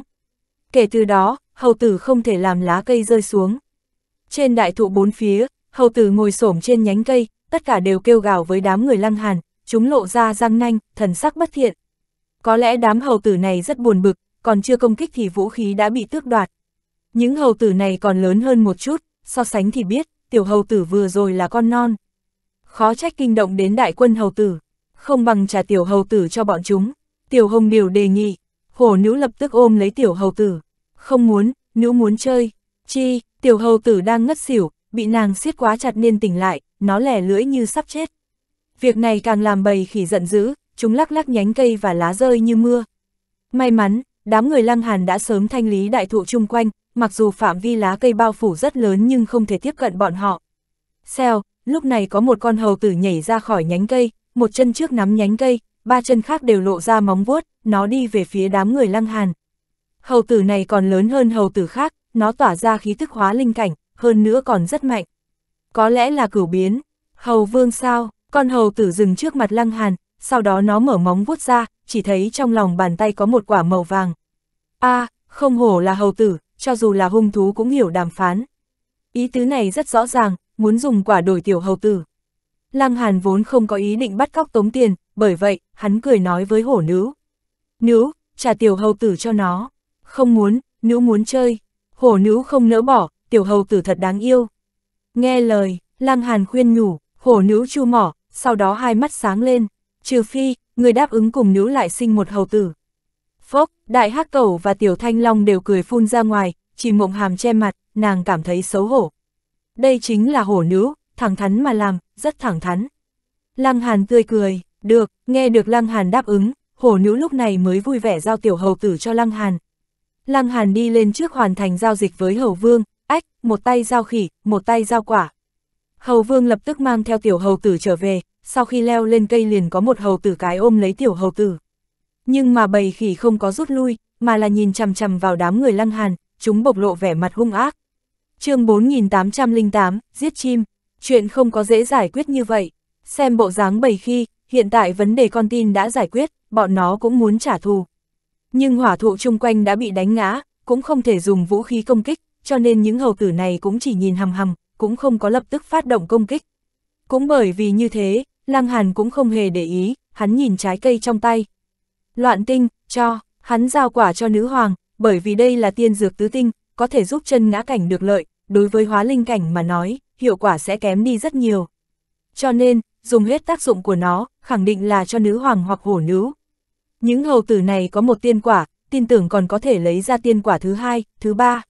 Ánh mắt lăng hàn lấp lánh, nói, nói không chừng, còn có tiên quả ngũ giai, cấp bậc ngũ giai chỉ có hắn, đại hắc cẩu, chỉ mộng hàm mới có thể phục dụng. Hắn nhanh chân đi lên phía trước, dự định lại cướp mấy con khỉ. Đại hắc cầu cùng tiểu thanh long đều theo sau, sắc chưa có đánh chết nó cũng không làm chuyện nguy hiểm như vậy, mà chỉ mộng hàm lưu lại tại chỗ, đừng để hầu tử cướp khỉ trở về. Lăng Hàn chạy tới dưới cây, lúc này hầu vương ra lệnh một tiếng, lập tức, hầu tử ở gần bắt đầu lắc nhánh cây. Lá cây rụng xuống như biển lửa ngập trời. Lăng Hàn mỉm cười, hắn phát động sát khí xung kích. Ba ba ba, lập tức, hầu tử cũng giống mưa rơi tựa như, nhao nhao theo trên cây rất xuống. Những này hầu tử phần lớn là chân ngã cảnh, làm sao có thể ngăn cản sát khí xung kích, vừa chạm vào đã bị hôn mê. Lần này, bầy khỉ trợn tròn mắt, ách, vừa rồi có một đồng bạn rơi vào trong tay Lăng Hàn, nhưng bây giờ lại có nhiều đồng bạn rơi vào trong tay đối phương. Lăng Hàn mang theo chiến lợi phẩm trở về, sau đó lại ngoắc hầu vương. Đến, lại đi nắm quả trao đổi đi, nếu như hắn đối mặt hung thú như hỏa điểu, như vậy khẳng định sẽ không như ý muốn, hầu tử không giống, chúng rất thông minh. Chỉ nghe hầu vương kêu to một tiếng, tất cả hầu tử như chim sợ cành cong, nhao nhao rút lui. Có thể thấy rõ ràng, tán cây rung động rất mạnh. Những hầu tử này giống như hỏa điểu, trời sinh miễn dịch hỏa diễm công kích. Qua một lúc sau, bầy khỉ đã quay trở về. Lúc này, chẳng những hầu vương đi xuống đất, sau lưng còn mang theo bảy con hầu tử. Đi tới gần, hầu tử mở móng vuốt ra, quả nhiên, mỗi trong mỗi móng vuốt đều là trái cây. Lần nữa hoàn thành giao dịch, Lăng Hàn hết sức hài lòng, mặc dù trao đổi đều là tiên quả tứ tinh, nhưng tay không bắt sói, bao nhiêu đều là lợi nhuận. Lần này, sau khi trao đổi với bầy khỉ, bầy khỉ không tiếp tục trả thù, chúng gào thét và bỏ đi. Không chơi nữa, Lăng Hàn cười ha ha, nói, đám hầu tử này rất đáng yêu, không ngại cho ta thêm một chút. Mọi người cũng cười, lần này hữu kinh vô hiểm và kiếm lời được vài tiên quả tứ tinh. Bọn họ tiến lên nhưng vẫn cẩn thận, bởi vì hầu tử liền sinh hoạt trên tàng cây, nếu có chủ tâm mai phục, thật có khả năng bị bọn nó đánh không kịp trở tay. Sau khi đi một lúc, chỉ nghe một tiếng kêu to vang lên, trên bầu trời xuất hiện một điểm đen và di chuyển rất nhanh. Rất nhanh, điểm đen biến lớn, đó là một con chim lớn màu đỏ, cái đuôi rất dài, ít nhất dài hơn thân thể bốn lần. Con chim lớn đáp xuống, sau đó vung chảo vào táng cây. Hỏa thụ rung động mạnh, chỉ thấy móng vuốt chim lớn bắt lấy một hầu tử, hầu tử kêu thảm mấy lần sau đó bị móng vuốt như tiên kim đâm vào cơ thể, nó lập tức chết đi. Hầu tử bốn phía sôi trào, chúng không ngừng kêu chi chi chi, chim lớn ngẩng đầu và tấn công bốn phía, sau đó nó lại cắn xé ăn thịt hầu tử. Hầu tử đáng yêu như thế, tại sao muốn ăn? Hổ nữ ở phía dưới kêu lên, lăng hàn thở dài, nàng mới là người không có tư cách nói như thế nhất, một đường đi tới, hung thú bị nha đầu này ăn không biết có bao nhiêu chủng loại. Hiện tại hiếm khi sinh ra lương tâm, bầy khỉ nổi giận nhưng rất kiêng kỵ chim lớn, đồng bạn đã chết, có chiến đấu cũng không có ý nghĩa, bởi vậy, sau khi giết lớn nhưng không có con nào xông tới. Lăng Hàn, nữ muốn ăn thịt chim, sau đó hổ nữ quay trở lại bản sắc của mình, chỉ vào con chim lớn kia và nuốt nước bọt. Được, Lăng Hàn gật gật đầu, hắn khẳng định sẽ có thiên hướng với hầu tử, dù hầu tử lúc trước đã ra tay với hắn. Thân hình hắn lao lên ngọn cây, chim lớn ngừng một chút, nó nhìn hắn, sau đó lại cúi đầu ăn tiếp. Chim lớn, Lăng Hàn xông tới và động thủ, chim lớn dừng ăn uống, nó há miệng phun ra hỏa diễm hóa thành linh xà tấn công Lăng Hàn. Lăng Hàn không ngừng lại, tinh thần hộ thuẫn mở ra, bành, hỏa diễm đánh tới và lan ra bốn phía, hỏa diễm không thể gây thương tổn cho hắn. Chỉ trong nháy mắt, hắn đã giết tới trước mặt chim lớn, hắn xuất quyền tấn công. Cùng là hóa linh cảnh, Lăng Hàn sẽ không sợ bất cứ đối thủ nào. Chim lớn lấy làm kinh hãi, công kích của nó không có hiệu quả. Lần này, nó không còn phun lửa, mà là trực tiếp mổ vào nắm đấm của Lăng Hàn. Hung thú hóa linh cảnh không có linh thân, nhưng đối lập, lực công kích của chúng rất cường đại. Mỏ của nó rất sắc bén, có thể không kém gì tiên kim cung cấp. a tới đi, đương nhiên Lăng Hàn sẽ không sợ mỏ chim. Bành, mỏ chim đánh vào nắm đấm, hào quang rực rỡ bộc phát, sau đó chim lớn bị đánh bay ra xa, cái mỏ của nó cong lên và có máu tươi chảy ra. Lăng Hàn cười nhạt, mặc dù hắn còn chưa khôi phục, chỉ có thể phát huy ra một nửa chiến lực, nhưng muốn chân áp con chim lớn này lại rất dễ dàng. Chim lớn rất kinh hãi, nó vội vàng vỗ cánh bay đi, cũng không cần đồ ăn, chỉ muốn rời khỏi nơi này. Hổ nữ nhà ta muốn ăn thịt chim, làm sao có thể thả ngươi chạy đi. Lăng Hàn hét lớn một tiếng, sát khí xung kích đánh ra, ông, chim lớn ngã từ trên trời xuống. Chết, những hầu tử ngất xỉu lúc trước không có chết là vì Lăng Hàn hạ thủ lưu tình. Lăng Hàn mang theo chim lớn trở về mặt đất, hổ nữ vui mừng không nhỏ. Dầm dầm, âm thanh lá cây ma sát vang lên, chỉ thấy bầy khỉ bò ra khỏi táng cây, dùng hầu vương cầm đầu đi tới trước mặt Lăng Hàn, chúng đứng lên và làm động tác vái chào. Lăng Hàn cười ha ha, muốn cảm tạ thì lấy thêm quả tới đây. Hầu tử có thể nghe không hiểu, chúng lại bái một hồi, lúc này sau đó giải tán. Ai, nước đổ đầu vịt, Lăng Hàn lắc đầu, bắt đầu cho nhổ lông chim lớn, chuẩn bị ăn. Nói thật, hắn cũng hơi thèm. Một lúc sau, lá cây rung động lần nữa, chỉ thấy bầy khỉ đi mà quay lại chương 4809, hạt châu kỳ quái. Bầy khỉ lại tới, hơn nữa phần lớn đều mang theo tiên quả. Nha, trách oan bọn nó. Lăng Hàn sẽ không khách khí, ai đến cũng không có cự tuyệt, hắn thu tất cả tiên quả. Hầu tử lại bái tạ và rời đi. Ai, ngay cả hung thú còn hiểu có ơn tất báo đều hơn rất nhiều sinh linh mở linh trí. Lăng Hàn nói, sau đó hắn nhìn sang sắc chư, sắc chư hừ hừ, ta hết ăn lại nằm thì làm sao? Ngươi trước kia không ít dùng ra làm tấm thuẫn, còn không có tính sổ với hỗn đản ngươi đấy. Lần này tiên quả thật nhiều, mặc dù đại bộ phận là tiên dược tứ tinh, nhưng vẫn có ba quả ngũ tinh, hiệu quả cũng không kém gì hồng lăng địa quả, liền bị lăng hàn phân cho trì mộng hàm, đại hắc cầu. Hắn đã có thể tự mình gánh vác một phương, hiện tại có thể vũ trang những người khác. Hắn phụ trách nấu cơm, thịt chim rất nhiều, một bộ phận dùng để nấu canh, một bộ phận dùng để nướng, vẫn còn thừa rất nhiều. Sau khi nướng thịt xong, hầu tử đều vui vẻ ăn thịt chim. Đây chính là kẻ thù của bọn chúng, đã ăn không biết bao nhiêu đồng bạn của chúng, hiện tại ăn thịt chim cũng giải hận. Ăn uống no đủ, Lăng Hàn tiếp tục lên đường, bầy khỉ đưa tiến trên táng cây, sau khi tiến cả trăm dặm thì chúng mới quay người trở về. Phía trước cũng không phải là lãnh địa của bọn nó, thuộc về một bầy khỉ khác. Đám người Lăng Hàn đi rất cẩn thận, sau khi đi mười mấy ngày mới rời khỏi khu rừng này, phía trước xuất hiện một hồ nước, nước hồ xanh biếc, bình tĩnh không lay động giống như một khối mã não. Việc này làm mọi người kinh ngạc, nơi đây khắp nơi đều là hỏa diễm, có một dòng sông dung nham cũng thôi, hiện tại thế mà xuất hiện một hồ nước, người không cảm thấy kỳ quái hay sao? Thật sự là hồ nước, không phải một khối mã não lớn. Bọn họ đi lên phía trước, đi tới bên hồ, quả nhiên là có hồ nước. Nhiều ngày chưa từng gặp nước, hồ nước xuất hiện làm mọi người mừng rỡ, nhao nhao cởi giày nhúng vào trong nước, cảm giác mát lạnh thoải mái khó nói thành lời. Khi chân đong đưa, nước hồ cũng phát ra gợn sóng và truyền ra xa, tiếng nước nghe rất rõ ràng. Hy vọng trong nước không có quái vật gì. Tiểu hồng điều không có xuống nước, nàng là hỏa thuộc tính hoàn toàn, tắm rửa trong hỏa diễm là thoải mái nhất, bảo nàng xuống nước.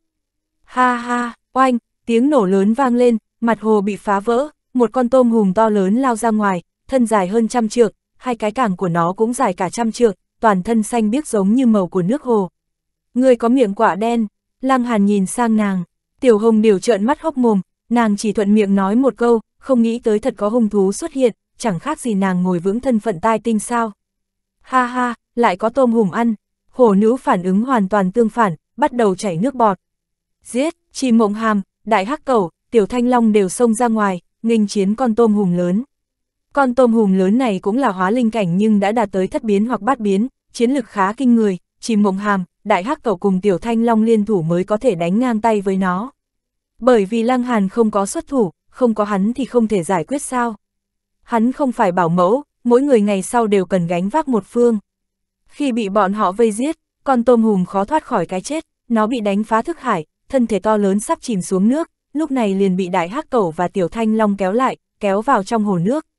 Tại sao nơi này có hồ nước? Tất cả mọi người đều hiếu kỳ. Nơi đây rất nóng, mọc ra thực vật đều là hỏa thụ, sông chính là sông Dung Nham, đột nhiên xuất hiện một hồ nước chân chính, đây chính là điểm kỳ lạ. Chẳng lẽ, dưới mặt đất có bảo vật gì, cho nên nước mới lạnh như thế? Đi xuống xem một chút, chân ngã cảnh phụ trách nấu cơm, những người khác đi xuống nước tìm kiếm khắp nơi. Nước hồ mát lạnh, còn mang theo vài phần hàn ý, từ đó xua tan cái nóng của hoàn cảnh chung quanh. Tầm nhìn trong nước khá xa, lại thêm bọn họ đều là hóa linh cảnh, tự nhiên có thể nhìn càng xa. Lăng Hàn phát động nhãn thuật nhìn thấu địa tầng, hắn tìm kiếm sâu hơn. Hồ nước rất lớn, bởi vậy cái tốc độ tìm kiếm khá chậm, hai ngày sau, Lăng Hàn mới có phát hiện. Hắn đi vào đáy hồ, sau đó chui vào một cái hang. Không qua bao lâu hắn nổi lên mặt nước, trong tay của hắn xuất hiện viên châu, viên châu lớn như con mắt. Sau khi hắn rời khỏi hồ, hồ nước sinh ra biến hóa. Toàn bộ hồ nước bắt đầu sôi trào, có nhiệt khí bốc lên, mực nước trong hồ nhanh chóng hạ xuống, cứ theo tốc độ này, chỉ cần qua một ngày là nước hồ bốc hơi sạch sẽ. Tất cả đều vì hạt châu này. Lăng Hàn kinh ngạc, hạt châu này rất bình thường, hơn nữa cũng không phải rất lạnh, nó chỉ hơi lạnh mà thôi, tại sao có thể bảo trụ cả hồ nước lớn như thế? Xảy ra chuyện gì, nước hồ bắt đầu bốc hơi, chỉ mộng hàm lên bờ, nàng cảm thấy khó hiểu. Lăng Hàn mở bàn tay ra, nói, Ây, cũng là bởi vì thứ này, mọi người cầm xem, người nhìn ta xem, nhưng đều không có phát hiện điểm thần kỳ. Sau khi xem một lúc, hạt châu về tới tay của Lăng Hàn. Trước tiên mặc kệ, chúng ta tiếp tục lên đường đi. Xèo, bọn họ đang muốn xuất phát, lúc này có một bóng người bay tới, sau đó từ trên trời đáp xuống nơi này. Liên Ngọc Đường, nha, Liên biểu ca. Đại hắc cầu lập tức nói, biểu ca tốt, Tiểu Thanh Long rất khách khí. Biểu ca tốt, sắc chư cũng tham gia náo nhiệt. Sắc mặt Liên Ngọc Đường biến thành màu đen, bị một con chó, một con thằn lằn, một con lợn gọi là biểu ca, hắn làm sao chịu nổi. Các ngươi nhất định cố ý, biểu muội ta tìm ngươi khắp nơi. Hắn cố nặn ra nụ cười và nói với chị mộng hàm. Chị mộng hàm chỉ cười nhạt một tiếng. Thời điểm ta rời đi vừa vặn biểu ca không ở cùng, ta đành phải không từ mà biệt. Liên Ngọc Đường khó tránh khỏi chịu đả kích lần nữa, hắn dừng một chút mới nói. Tốt, hiện tại đã chạm mặt, người đi theo ta đi. Không cần biểu ca hao tâm tổn trí, ta có thể chiếu cố chính mình. Chị mộng hàm cự tuyệt, nơi này quá nguy hiểm, nên do ta bảo vệ mới tốt. Liên Ngọc Đường lại cường điệu, Lăng Hàn chen lời nói, da mặt của ngươi thật dày, đã nói không đi, ngươi còn rông dài cái gì. Ngươi cho rằng quấn quyết chặt lấy thì nhất định có thể thành công. Ha ha, thật không biết ngươi xem tiểu thuyết tam lưu gì. Liên Ngọc Đường bị trì mộng hàm cự tuyệt, hắn đã rất tức giận, bây giờ bị Lăng Hàn châm chọc như thế rốt cuộc hắn không khống chế nổi. Ngươi muốn chết, hắn không cố kỵ nữa, lúc này vươn tay bắt lấy Lăng Hàn. Trước đó hắn vẫn ẩn nhẫn là vì hắn muốn bảo trì phong độ trước mặt trì mộng hàm, nhưng bây giờ hắn cũng không nhịn được nữa. Giết, giết tên đáng chết này. Hắn cười lạnh, với thực lực của mình, muốn giết Lăng Hàn là chuyện dễ như trở bàn tay. Oanh, chương 4810, nghịch chuyển. Lăng Hàn nghênh tiếp, banh, sau khi đấu một kích, Lăng Hàn cảm thấy thân thể chấn động, hắn lảo đảo lui về phía sau. Không có biện pháp, thương thế của hắn còn chưa chưa khỏi hẳn, hiện tại chỉ có thể phát huy ra một nửa chiến lực, không địch lại Liên Ngọc Đường cũng rất bình thường. Liên Ngọc Đường kinh ngạc, lúc trước đấu với Lăng Hàn là hắn nắm giữ ưu thế nghiền ép, nhưng bây giờ hắn chỉ đánh lui Lăng Hàn. Không thể tưởng tượng nổi, gia hỏa này trong mấy tháng ngắn ngủi đã gia tăng tu vi nhanh như vậy sao? Trong lòng của hắn xuất hiện một tia hối hận, sớm biết như thế, hắn cần gì bận tâm tới chỉ mộng hàm, hắn trực tiếp tiêu diệt tên yêu nghiệt này là được. Còn tốt, hiện tại cũng không muộn, hắn vẫn chiếm ưu thế. Giết, oanh, trong cơ thể hắn sinh ra sát ý sôi trào, còn có ánh sáng bảy màu lóe sáng. Lăng Hàn sử dụng nhãn thuật nhìn lướt qua, hắn phát hiện đó không phải chân thân của Liên Ngọc Đường, mà chỉ là một đạo linh thân. Cũng phải, hắn hiện tại đang tìm kiếm chỉ mộng hàm, khẳng định chỉ cho linh thân tìm kiếm, khi đó mới có thể gia tăng hiệu suất tìm kiếm. Nhưng dù chỉ là một đạo linh thân, chiến lực Liên Ngọc Đường vẫn kinh khủng, mặc dù hắn chỉ là linh thân bảy màu nhưng ở chân ngã cảnh cũng tu tới đệ bát hình, hình thành linh thân chất lượng cực cao. Linh thân và bản ngã có chiến lực tương tự nhau, bởi vậy, Liên Ngọc Đường mới có tự tin cường đại như vậy, cho rằng có thể diệt sát Lăng Hàn. Biểu ca, dừng tay, chỉ mộng hàm vội vàng kêu lên, nàng tự nhiên là nghiêng về Lăng Hàn. Liên Ngọc Đường không để ý tới nàng, Lăng Hàn cho hắn cảm giác áp bách mãnh liệt ti, cho nên, hắn nhất định phải giết Lăng Hàn. Hiện tại không giết, hậu hoạn vô tận, sâu kiến cũng chỉ là sâu kiến. Liên Ngọc Đường kê hình thường nói, cái gì sát thủ đế tử, hừ, tại trước mặt đế tử chính thức, người tính là cái gì? Thấy Liên Ngọc Đường lớn lối như thế, tất đi cả mọi người không cam lòng ỉ vào tu vi cao ức hiếp người có gì đặc biệt hơn người. Thật không biết hắn tìm đâu ra cảm giác yêu Việt như thế. Thế hệ Hoàng Kim, thế hệ hèn nhát, Tiểu Thanh Long và Đại Hắc Cẩu ngươi một câu ta một câu, nói tới đấu võ mồm, bọn họ sợ ai? Sắc mặt Liên Ngọc Đường tái xanh, nhưng đây chính là sự thật, mặc dù hai người cùng là hóa linh cảnh, một là hóa linh cửu biến, người ta thì sao? Thế hệ Hoàng Kim vốn đã tới độ cao chiến đấu vượt cấp, hiện tại tu vi rõ ràng chiếm ưu thế nhưng chiến lực miễn cưỡng chiếm thượng phong, mặt mũi hắn đã mất sạch. Hắn dứt khoát không nói thêm gì nữa, hắn phát động đế thuật muốn diệt sát Lăng Hàn. Nếu không được, hắn chỉ có thể chém bán ngã Lăng Hàn, từ đó làm hắn tổn thương đạo cơ. Lăng Hàn liều mạng đánh mấy chiêu, hắn có cảm giác có dấu hiệu tăng lên. Trước đó hắn cũng chiến đấu qua, nhưng đối thủ quá yếu, hắn gần như có thể miểu sát, tự nhiên không quan trọng, nhưng bây giờ khác biệt, đối thủ chiến lực còn mạnh hơn hắn không ít, cho nên hắn sinh ra áp lực như núi. Không thể chơi như vậy, vận dụng linh thân, chỉ cần gọi ra một linh thân sẽ là hai đánh một, sáu cái sẽ là bảy đánh một, hắn cũng không tin không đánh phục ra hỏa này. Hoặc là, tâm niệm lăng hàn vừa động, phát động sát khí xung kích. Ngô, sắc mặt liên ngọc đường biến thành dữ tợn, thậm chí thân thể của hắn sinh ra sóng to gió lớn. Quả nhiên, lăng hàn cười trong lòng, hiện tại liên ngọc đường chỉ là một linh thân, mà linh thân có thể có bảo khí đại đế ngăn cản công kích linh hồn hay sao? Lấy đâu ra nhiều bí bảo như vậy, cho nên, hắn dùng một chiêu sát khí xung kích là thành công. Dù sao Liên Ngọc Đường cũng là thế hệ hoàng kim, chỉ trong nháy mắt hắn đã khôi phục như ban đầu, nhưng cao thủ quyết đấu sinh ra sai lầm trong nháy mắt, công kích của hắn sẽ yếu đi rất nhiều. Ngươi, hắn nhìn Lăng Hàn, trong ánh mắt có vẻ kinh ngạc, Lăng Hàn lại nắm giữ biện pháp công kích linh hồn. Càng mấu chốt chính là, hắn lại bị ảnh hưởng. Phải biết, linh thân dùng chân ngã đúc thành, chân ngã của hắn trải qua 8 lần biến hóa đã cứng cỏi cỡ nào. Có thể nói, linh thân có sức chống cự công kích linh hồn còn mạnh hơn bản ngã. Hiện tại hắn bị trúng chiêu, bí pháp công kích linh hồn của gia hỏa này khủng bố cỡ nào. Đáng chết, hắn khẽ nguyền rủa một tiếng, hắn lao tới, đạo tắc bộc phát uy lực đáng sợ. Lăng Hàn cười nhạt một tiếng, hắn lại dùng sát khí xung kích đánh ra ngoài, ông, liên ngọc đường trúng chiêu lần nữa, thân thể rung động như sóng nước, hắn như sắp tan vỡ. Đây là linh thân, cũng không phải là thực thể. Chơi vui không? Lăng Hàn cười nói, còn có chơi vui hơn đấy. Hắn lấy ra kèn lệnh đại đế, sau đó thổi mạnh. Gợn sóng vô hình khuếch tán ra chung quanh, liên ngọc đường chu lên như sói. Bản thân hắn sững sốt, tình huống như thế nào, hắn cũng không phải lang tộc, tại sao phải học sói chu. Nhưng hắn thông minh cỡ nào, hắn lập tức liền ý thức được có quan hệ với kèn lệnh trong tay lăng hàn. Đây là bảo khí gì? Hắn trầm giọng hỏi, hắn cho rằng đây là pháp khí không đứng đắn, có thể làm người ta chu lên như sói, thứ này quá âm hiểm. Lăng Hàn cười một tiếng, đương nhiên là đế binh, đế binh em gái ngươi, có dạng đế binh như vậy sao? Liên Ngọc Đường nói thầm, hắn không kìm được và chu lên như sói. Ta hỏi ngươi chơi vui hay không? Lăng Hàn giết tới đây, tay trái nắm lấy kèn lệnh đại đế, thỉnh thoảng cũng khoe khoang một lúc, tay phải hóa thành nắm đấm tấn công Liên Ngọc Đường.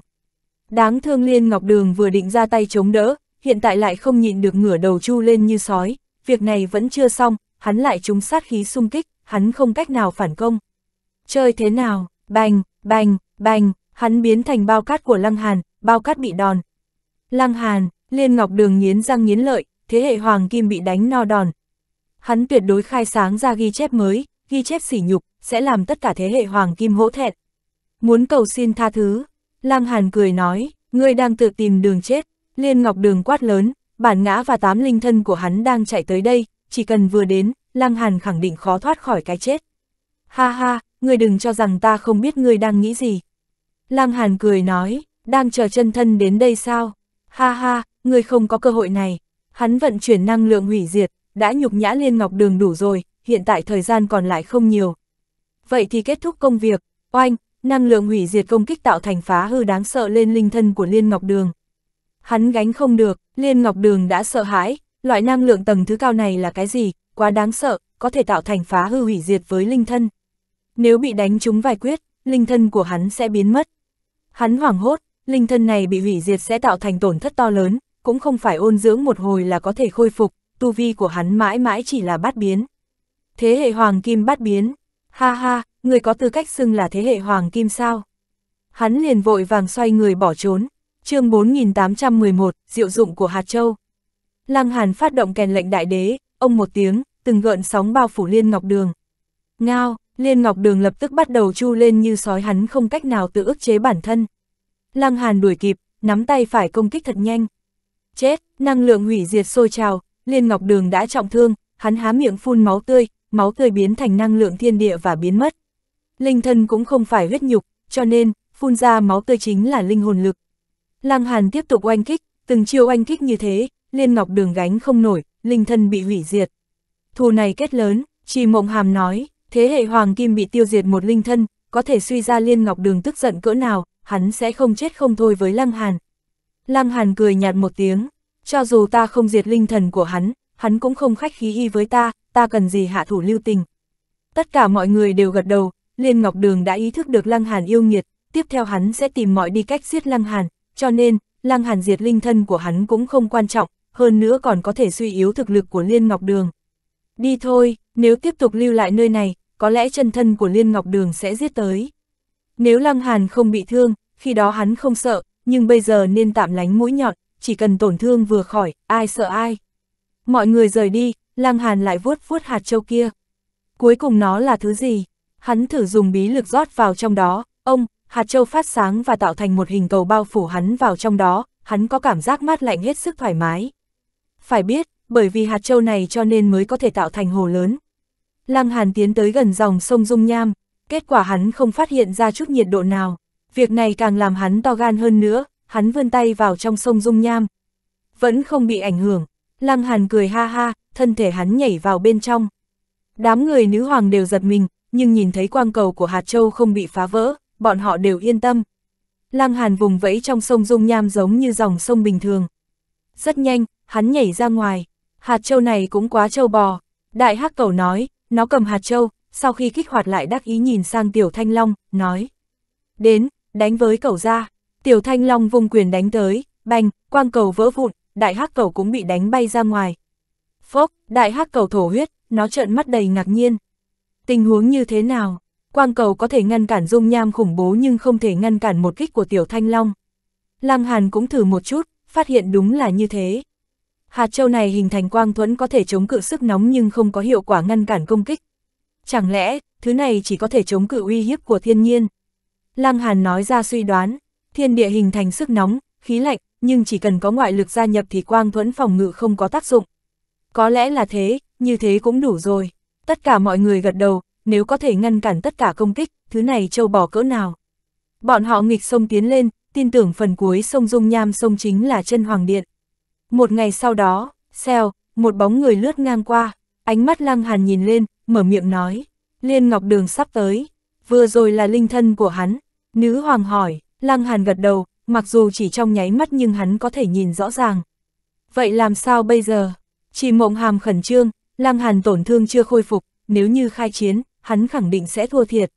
Không sao, lăng hàn cười nói, Ta hiện tại có thứ này, đánh không lại có thể chạy ngược lại ta muốn xem hắn có dám vào dung nham hay không. Hắn tung tung hạt châu trong tay, tất cả mọi người gật đầu, đây là đại chiêu, chắc chắn Liên Ngọc Đường không dám tiếp. Chỉ cần Lăng Hàn khôi phục thương thế, hắn còn sợ Liên Ngọc Đường hay sao? Qua một lúc, xèo, trên bầu trời lại có một bóng người bay qua sau đó đáp xuống. Chính là Liên Ngọc Đường, hắn không nói hai lời, trực tiếp vận dụng đế thuật tấn công Lăng Hàn. Lăng Hàn thét dài một tiếng, hắn lao tới nghênh chiến. Hai người đại chiến, chỉ qua vài chiêu, cả hai đều dùng đại chiêu. Liên Ngọc Đường cho tám đạo linh thân ra hết, cũng điên cuồng tấn công Lăng Hàn. Lăng Hàn cũng vận dụng sáu linh thân, nhưng hắn ở trạng thái toàn thịnh, thực lực của hắn cũng chỉ tương đương với Liên Ngọc Đường, hiện tại hắn trọng thương, bản ngã và linh thân đều bị ảnh hưởng. Từ đó hắn lâm vào hạ phong, hắn đánh ra sát khí xung kích, nhưng lần này hoàn toàn không có hiệu quả. Hừ, Liên Ngọc Đường cười lạnh, nói, bảo khí đại đế trên người ta cũng có thể che chở linh thân, lần trước khoảng cách quá xa nên người mới có thể đắc thủ. a à, thì ra là thế. Lăng Hàn, hôm nay ta sẽ tiến ngươi lên đường.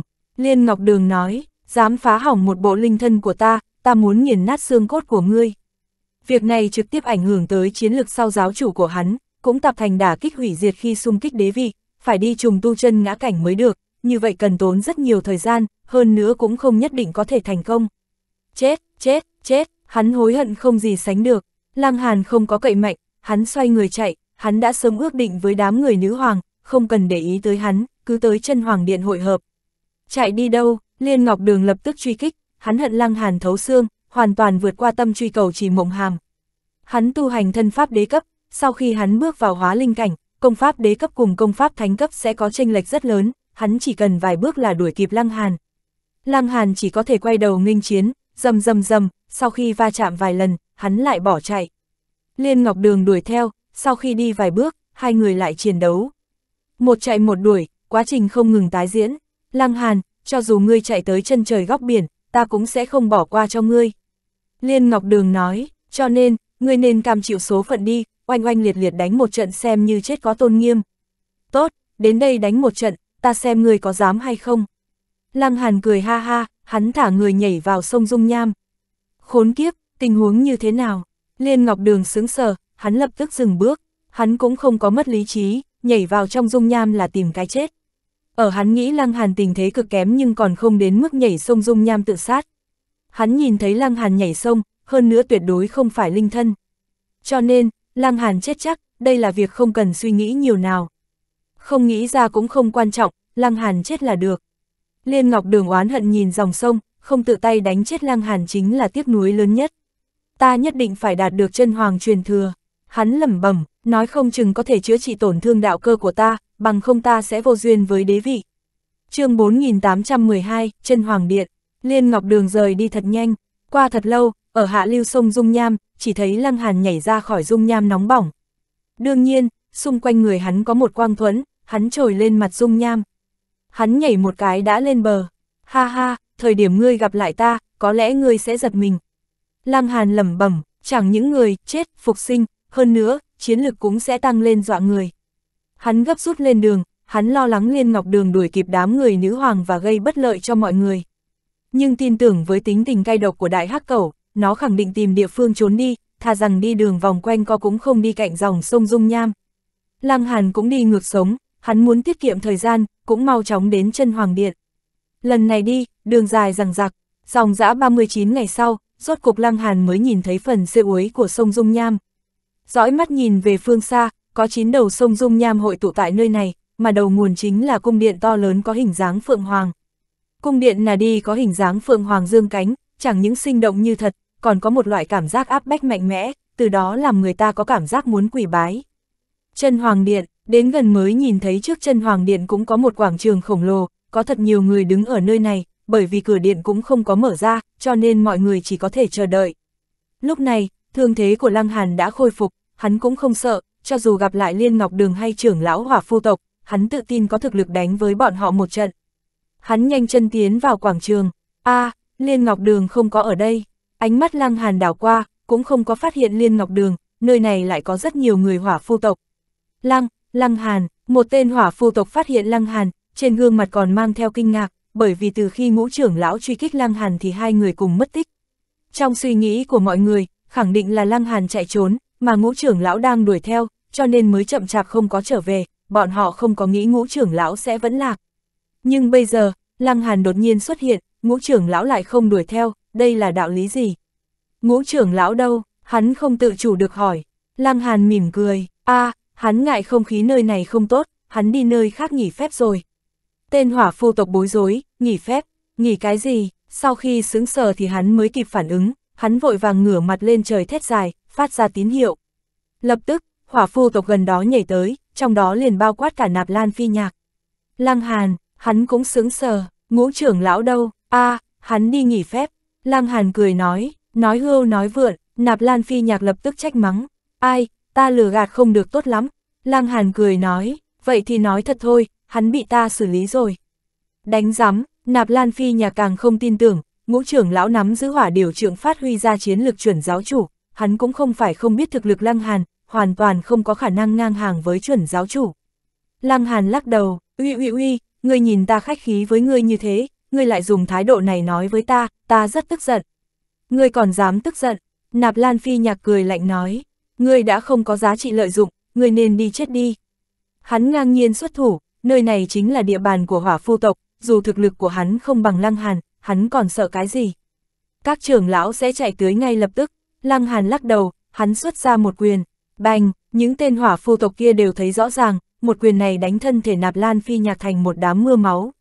Ngươi, ngươi ngươi, bọn họ chỉ vào Lăng Hàn, cũng không biết sợ hãi thực lực của Lăng Hàn hay sợ hắn to gan lớn mật. Xèo, lúc này có một bóng người bay tới, nạp lan hỏa thụ, hắn cũng không nhìn thấy nạp lan phi nhạc bị đánh nát, hắn cảm ứng được trong không khí có huyết khí. Xảy ra chuyện gì, phi nhạc, phi nhạc bị hắn giết, người hỏa phu tộc chỉ vào Lăng Hàn, người thật to gan, nạp lan hỏa thụ lạnh giọng nói. Bình thường, Lăng Hàn nhún vai, nói, ngươi không phục sao, ta có thể làm thịt cả ngươi, tin hay không? Hiu hiu hiu, lại có vài người hỏa phu tộc chạy tới, lần này là trưởng lão, tám tên trưởng lão nhanh chóng xuất hiện đông đủ. Lão ngũ đâu, có một tên trưởng lão hỏi, ánh mắt nhìn chằm chằm vào Lăng Hàn. Đây là thái đội hỏi người khác sao? Lăng Hàn lắc đầu, nói, ta rất không hài lòng, cá chậu chim lồng mà thôi, cần để ý thái độ của ngươi sao? Tứ trưởng lão hừ một tiếng, mau nói, lão ngu ở đâu? Giết, Lăng Hàn nói, xét thấy thái độ của ngươi như vậy, ta sẽ tiến ngươi đi gặp hắn. Ha ha, đúng là trò cười. Tứ trưởng lão gật đầu với nạp lan hỏa thụ, nói. Giết hắn, tuân mệnh, nạp lan hỏa thụ gật đầu, hắn lập tức chém giết Lăng Hàn. Có tám đại trưởng lão tỏa chấn, chiến lược áp chế Lăng Hàn, hắn khẳng định có thể giết Lăng Hàn. Chết, hắn xuất trưởng tấn công Lăng Hàn. Lăng Hàn vung quyền, lực lượng kinh khủng sôi trào, lần này hắn cũng không hề bảo lưu cái gì, hắn phóng thích tất cả lực lượng ra ngoài.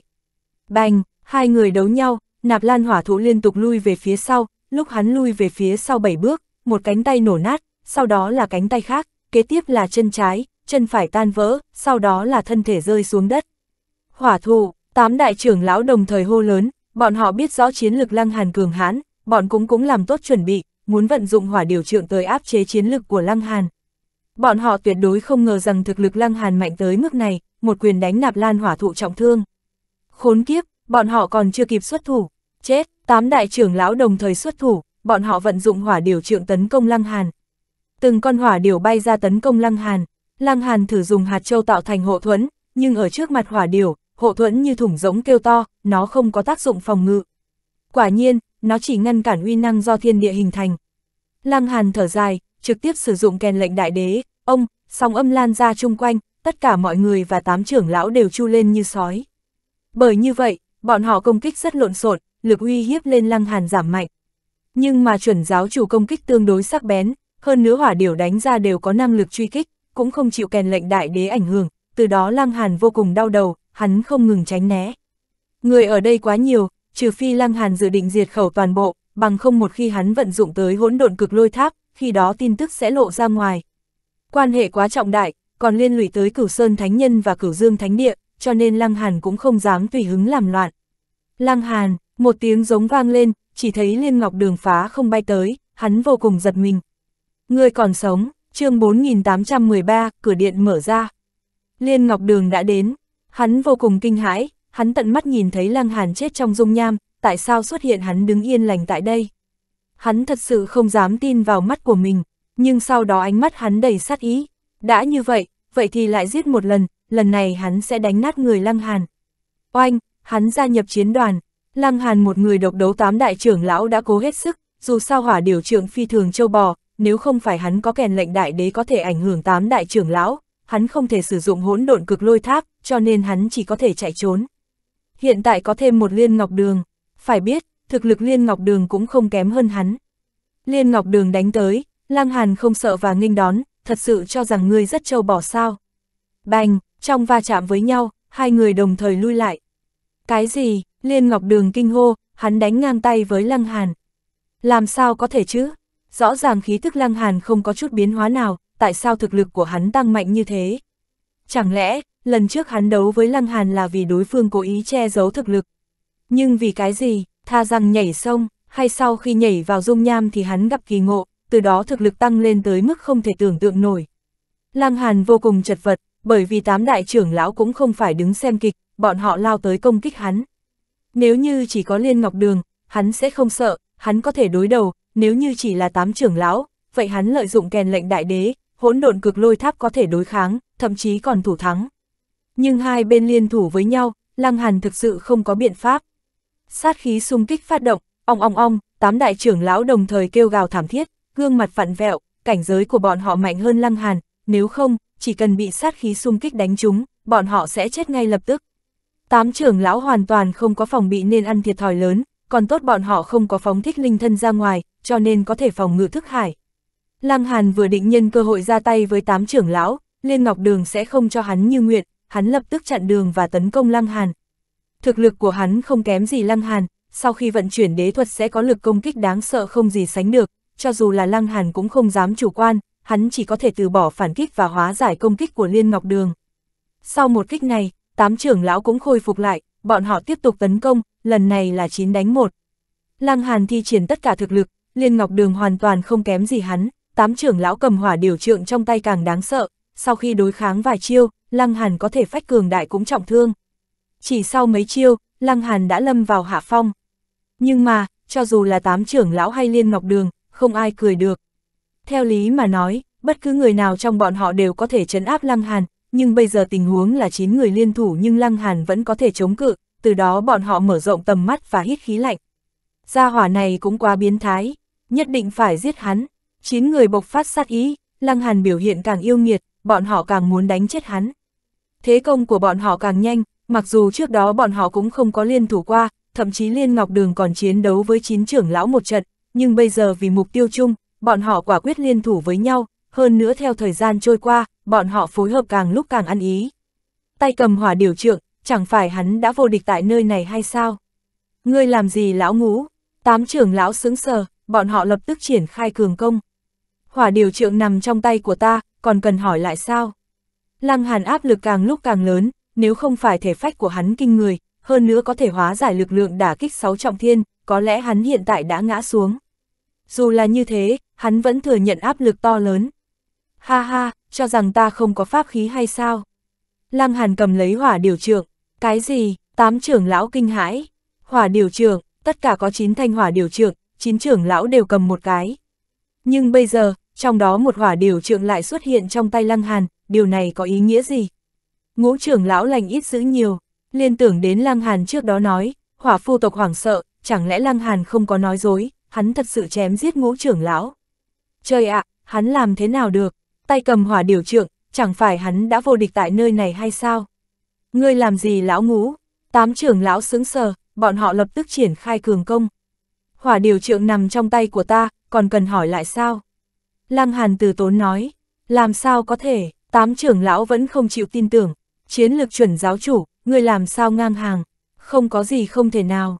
Lăng Hàn vung vẫy hỏa điều trượng, đáng tiếc, thứ này cần thủ pháp đặc thù mới được, bởi vậy hắn mặc dù vung đánh nhưng không có hỏa diều bay ra. Ha ha, sai lầm sai lầm, xin đừng nên để trong lòng. Hắn tươi cười nói với mọi người, tám trưởng lão đều đã chuẩn bị chạy tứ phía bị, bọn họ đều là công mạnh thủ yếu, nếu đồng dạng đối mặt chuẩn công kích chuẩn giáo chủ, bọn họ tuyệt đối không có khả năng ngăn cản như Lăng Hàn. Ngươi chơi cái gì thế? Tám cái lão đầu đều là thẹn quá hóa giận, lần nữa vung vẩy quải trượng tấn công Lăng Hàn. Phốc phốc phốc, hỏa điều bay ra, Lăng Hàn bất đắc dĩ, hắn đành phải bỏ chạy. Một đánh chín, hắn ăn thua thiệt quá lớn. Đừng trốn, tám trưởng lão và Liên Ngọc Đường đồng thời phát động truy kích. Nhưng vào lúc này, gạch đá trên quảng trường phát sáng, ánh sáng màu đỏ như hỏa diễm bộc phát. Biến hóa này quá mức đột nhiên, tất cả mọi người đều ngừng lại. Trong bí canh bơ tràn ngập nguy cơ. Ba Đột nhiên Lăng Hàn phát hiện một kiện pháp khí không gian trên người mình vỡ vụn, đồ vật bên trong không bị chôn vùi trong hư không, mà lơ lửng bay lên, sau đó hóa thành mũi tên bay vào cửa lớn cung điện. Chìa khóa cung điện, không chỉ có hắn, còn có hai thanh chìa khóa từ chỗ tám trưởng lão bay tới cửa cung điện. 1, 2, 3, 8, 9, 9 thanh chìa khóa, đủ. 9 thanh chìa khóa cắm vào lỗ khóa, phía trên có 9 cái lỗ, vừa vặn đối ứng lẫn nhau. a vì cái gì đột nhiên sinh ra biến hóa? Ánh mắt lăng hàn nhìn chung quanh, hắn phát hiện khí tức quen thuộc. Đám người nữ hoàng, hổ nữ, đại hắc cẩu. Lăng hàn hiểu ra, vì cái gì biến hóa sinh ra như vậy, bởi vì tiểu hồng điều đến, huyết mạch của nàng dẫn phát biến cố. Chín thanh chìa khóa tề tụ, tự mình dẫn tới phản ứng với nhau. Tạp tạp tạp, âm thanh truyền tới. Tất cả mọi người đều dừng tay nhìn về phía cửa lớn. Sắp mở ra sao, chân hoàng truyền thừa sắp xuất thế sao? Chìa khóa xoay tròn, cuối cùng ngừng lại, sau đó cửa lớn dần dần mở ra, bên trong đen kịt. chương 4814, ta trở về. Cung điện mở ra, tất cả mọi người đều nhìn sang, trong đó ẩn chứa chân hoàng truyền thừa. Đế cấp bí thuật, phượng dực thiên tường, thân pháp châu bò nhất thiên hạ, truyền thuyết rất nhiều đại đế đều muốn quan sát một hai, nhưng từ đầu đến cuối không có biện pháp tìm được chân hoàng bí xào, không nghĩ tới bọn họ lại gặp được đại cơ duyên như thế. Mỗi người đều hưng phấn không gì sánh bằng, đồng thời cũng sinh ra sát ý, trong tay vận dụng đại sát khí, tiếp theo không cần nói nhiều, chỉ có đại chiến mà thôi. Trước mặt đế thuật vô thượng, cho dù là thân huynh đệ cũng có thể bất hòa. Liên Ngọc Đường cũng không hề công kích, hắn nhìn sang cửa lớn cung điện, trong mắt mang theo khát vọng không thể che giấu. Hắn thấy chỉ với chiến lược cá nhân mà nói, hắn không thẹn là đệ nhất ở đây, cho nên, hắn cố kỵ duy nhất chính là tám trưởng lão, dù sao tay cầm đại sát khí như hỏa điều trượng có thể đánh ra công kích chuẩn giáo chủ. Nhất định phải đề phòng một chút, hắn không đặt những kẻ tầm thường vào mắt. Tạp tạp tạp, cửa lớn cung điện mở ra hoàn toàn, nhưng bên trong không có thứ gì, chỉ có bóng tối đen kịt. Giết, cũng không biết là ai lao vào cung điện đầu tiên, một hồi hỗn chiến không thể tránh khỏi bộc phát, người người đánh nhau, tất cả đều muốn trở thành người đầu tiên xông vào cung điện. Cút đi, đây chính là cơ duyên hỏa phu tộc khổ chờ đợi vô số năm. Tám trưởng lão cũng không quan tâm tới Lăng Hàn, bọn họ lao vào cửa chính. Bọn họ vung vẩy hỏa điều trượng, công kích đáng sợ bộc phát. Người hỏa phu tộc đã sớm lui ra ngoài, bởi vậy, mặc kệ bọn họ làm loạn thế nào cũng không bị tổn thương. Lần này, tràng diện hỗn loạn không gì sánh được, công kích chuẩn giáo chủ quá bá đạo, từng con hỏa điều tấn công, đám người không ngừng ngã xuống, căn bản không chịu nổi một kích. Cái gì đạo tử, đế tử thậm chí thế hệ bạch ngân, ở trước mặt công kích chuẩn giáo chủ đều quá yếu đuối, nếu không phải thật nhiều người còn có thế tử phù trợ giúp, hiện tại bọn họ đã tử vong ít nhất 2-3 lần. Việc này làm các đế tử kinh hãi, đế thuật tuy tốt nhưng phải có mạng hưởng mới được. Bọn họ khôi phục lý trí, nhao nhao lui ra ngoài. Trước mắt chỉ còn 8 trưởng lão, Liên Ngọc Đường và một tên thế hệ hoàng kim tên là Thạch Trạch xông vào cửa chính, cũng được gọi là đế tử Trạch. Mặt khác, Lăng Hàn hơi chậm một chút hắn cũng không cảm thấy xông vào đầu tiên là có thể đạt được chân hoàng truyền thừa. Chín tòa cung điện đều là tiểu hồng điểu mở ra, hiện tại chẳng lẽ không có quan hệ với tiểu hồng điểu hay sao? Cho nên, hắn bảo tiểu hồng điểu tới, một người một chim lựa chọn đứng ngoài quan sát. Các người cứ đánh thống khoái đi, đến lúc này, bởi vì số người tiến vào giảm bớt, thế cục cũng biến thành yên lặng. Tám trưởng lão liên thủ chiến liên ngọc đường và đế tử trạch.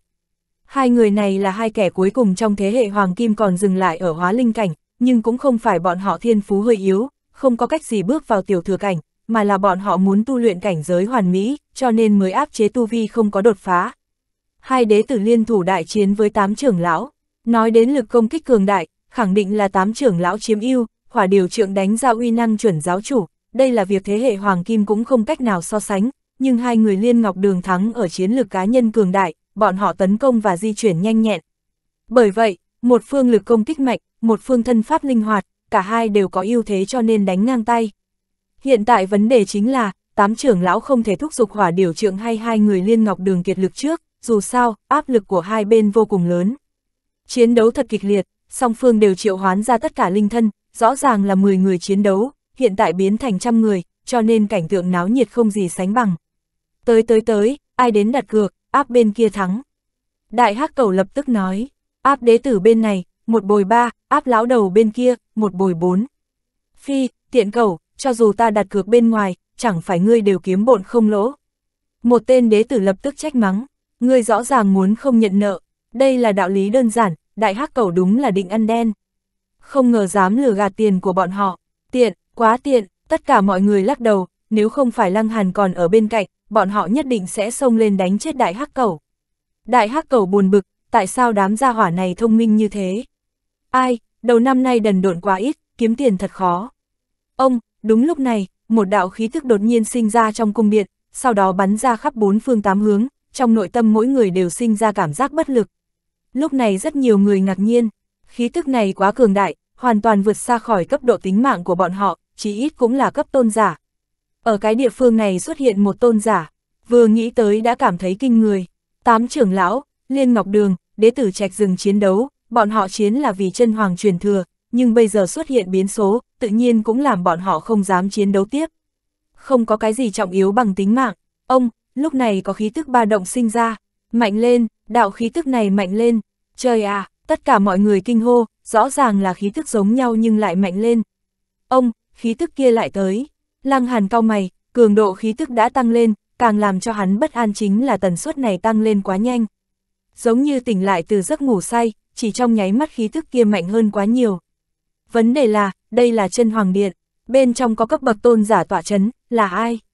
Chân hoàng, không có khả năng, cho dù là chân hoàng là đại đế cũng không có khả năng sống lâu như vậy, hơn nữa đại đế mạnh đến mức thiên địa đạo tắc không thể áp chế, căn bản không có khả năng ngăn chặn sức sống, vượt qua vô tận năm tháng.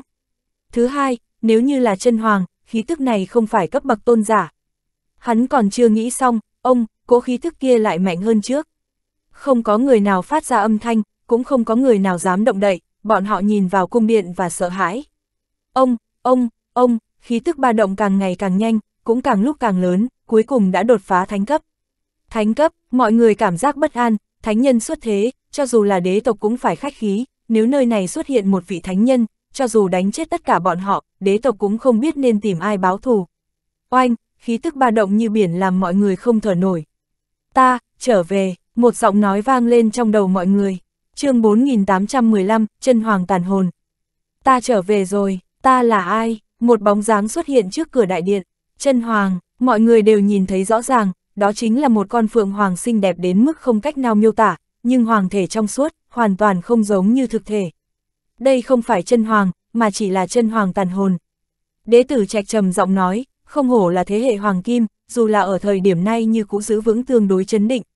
Lăng Hàn cũng có đồng cảm, tuyệt đối không phải thần thú chân hoàng thời kỳ viễn cổ quát tháo thiên hạ, bởi vì như thế là không hiện thực, hơn nữa cũng tuyệt đối không thể nào là linh hồn hoàn chỉnh, đại đế chết, linh hồn sẽ bị thiên địa đồng hóa, đây là việc không thể tránh khỏi. Nhưng đại đế thủ đoạn thông thiên, nếu nói chỉ bảo lưu chút tàn hồn thì không có gì khó.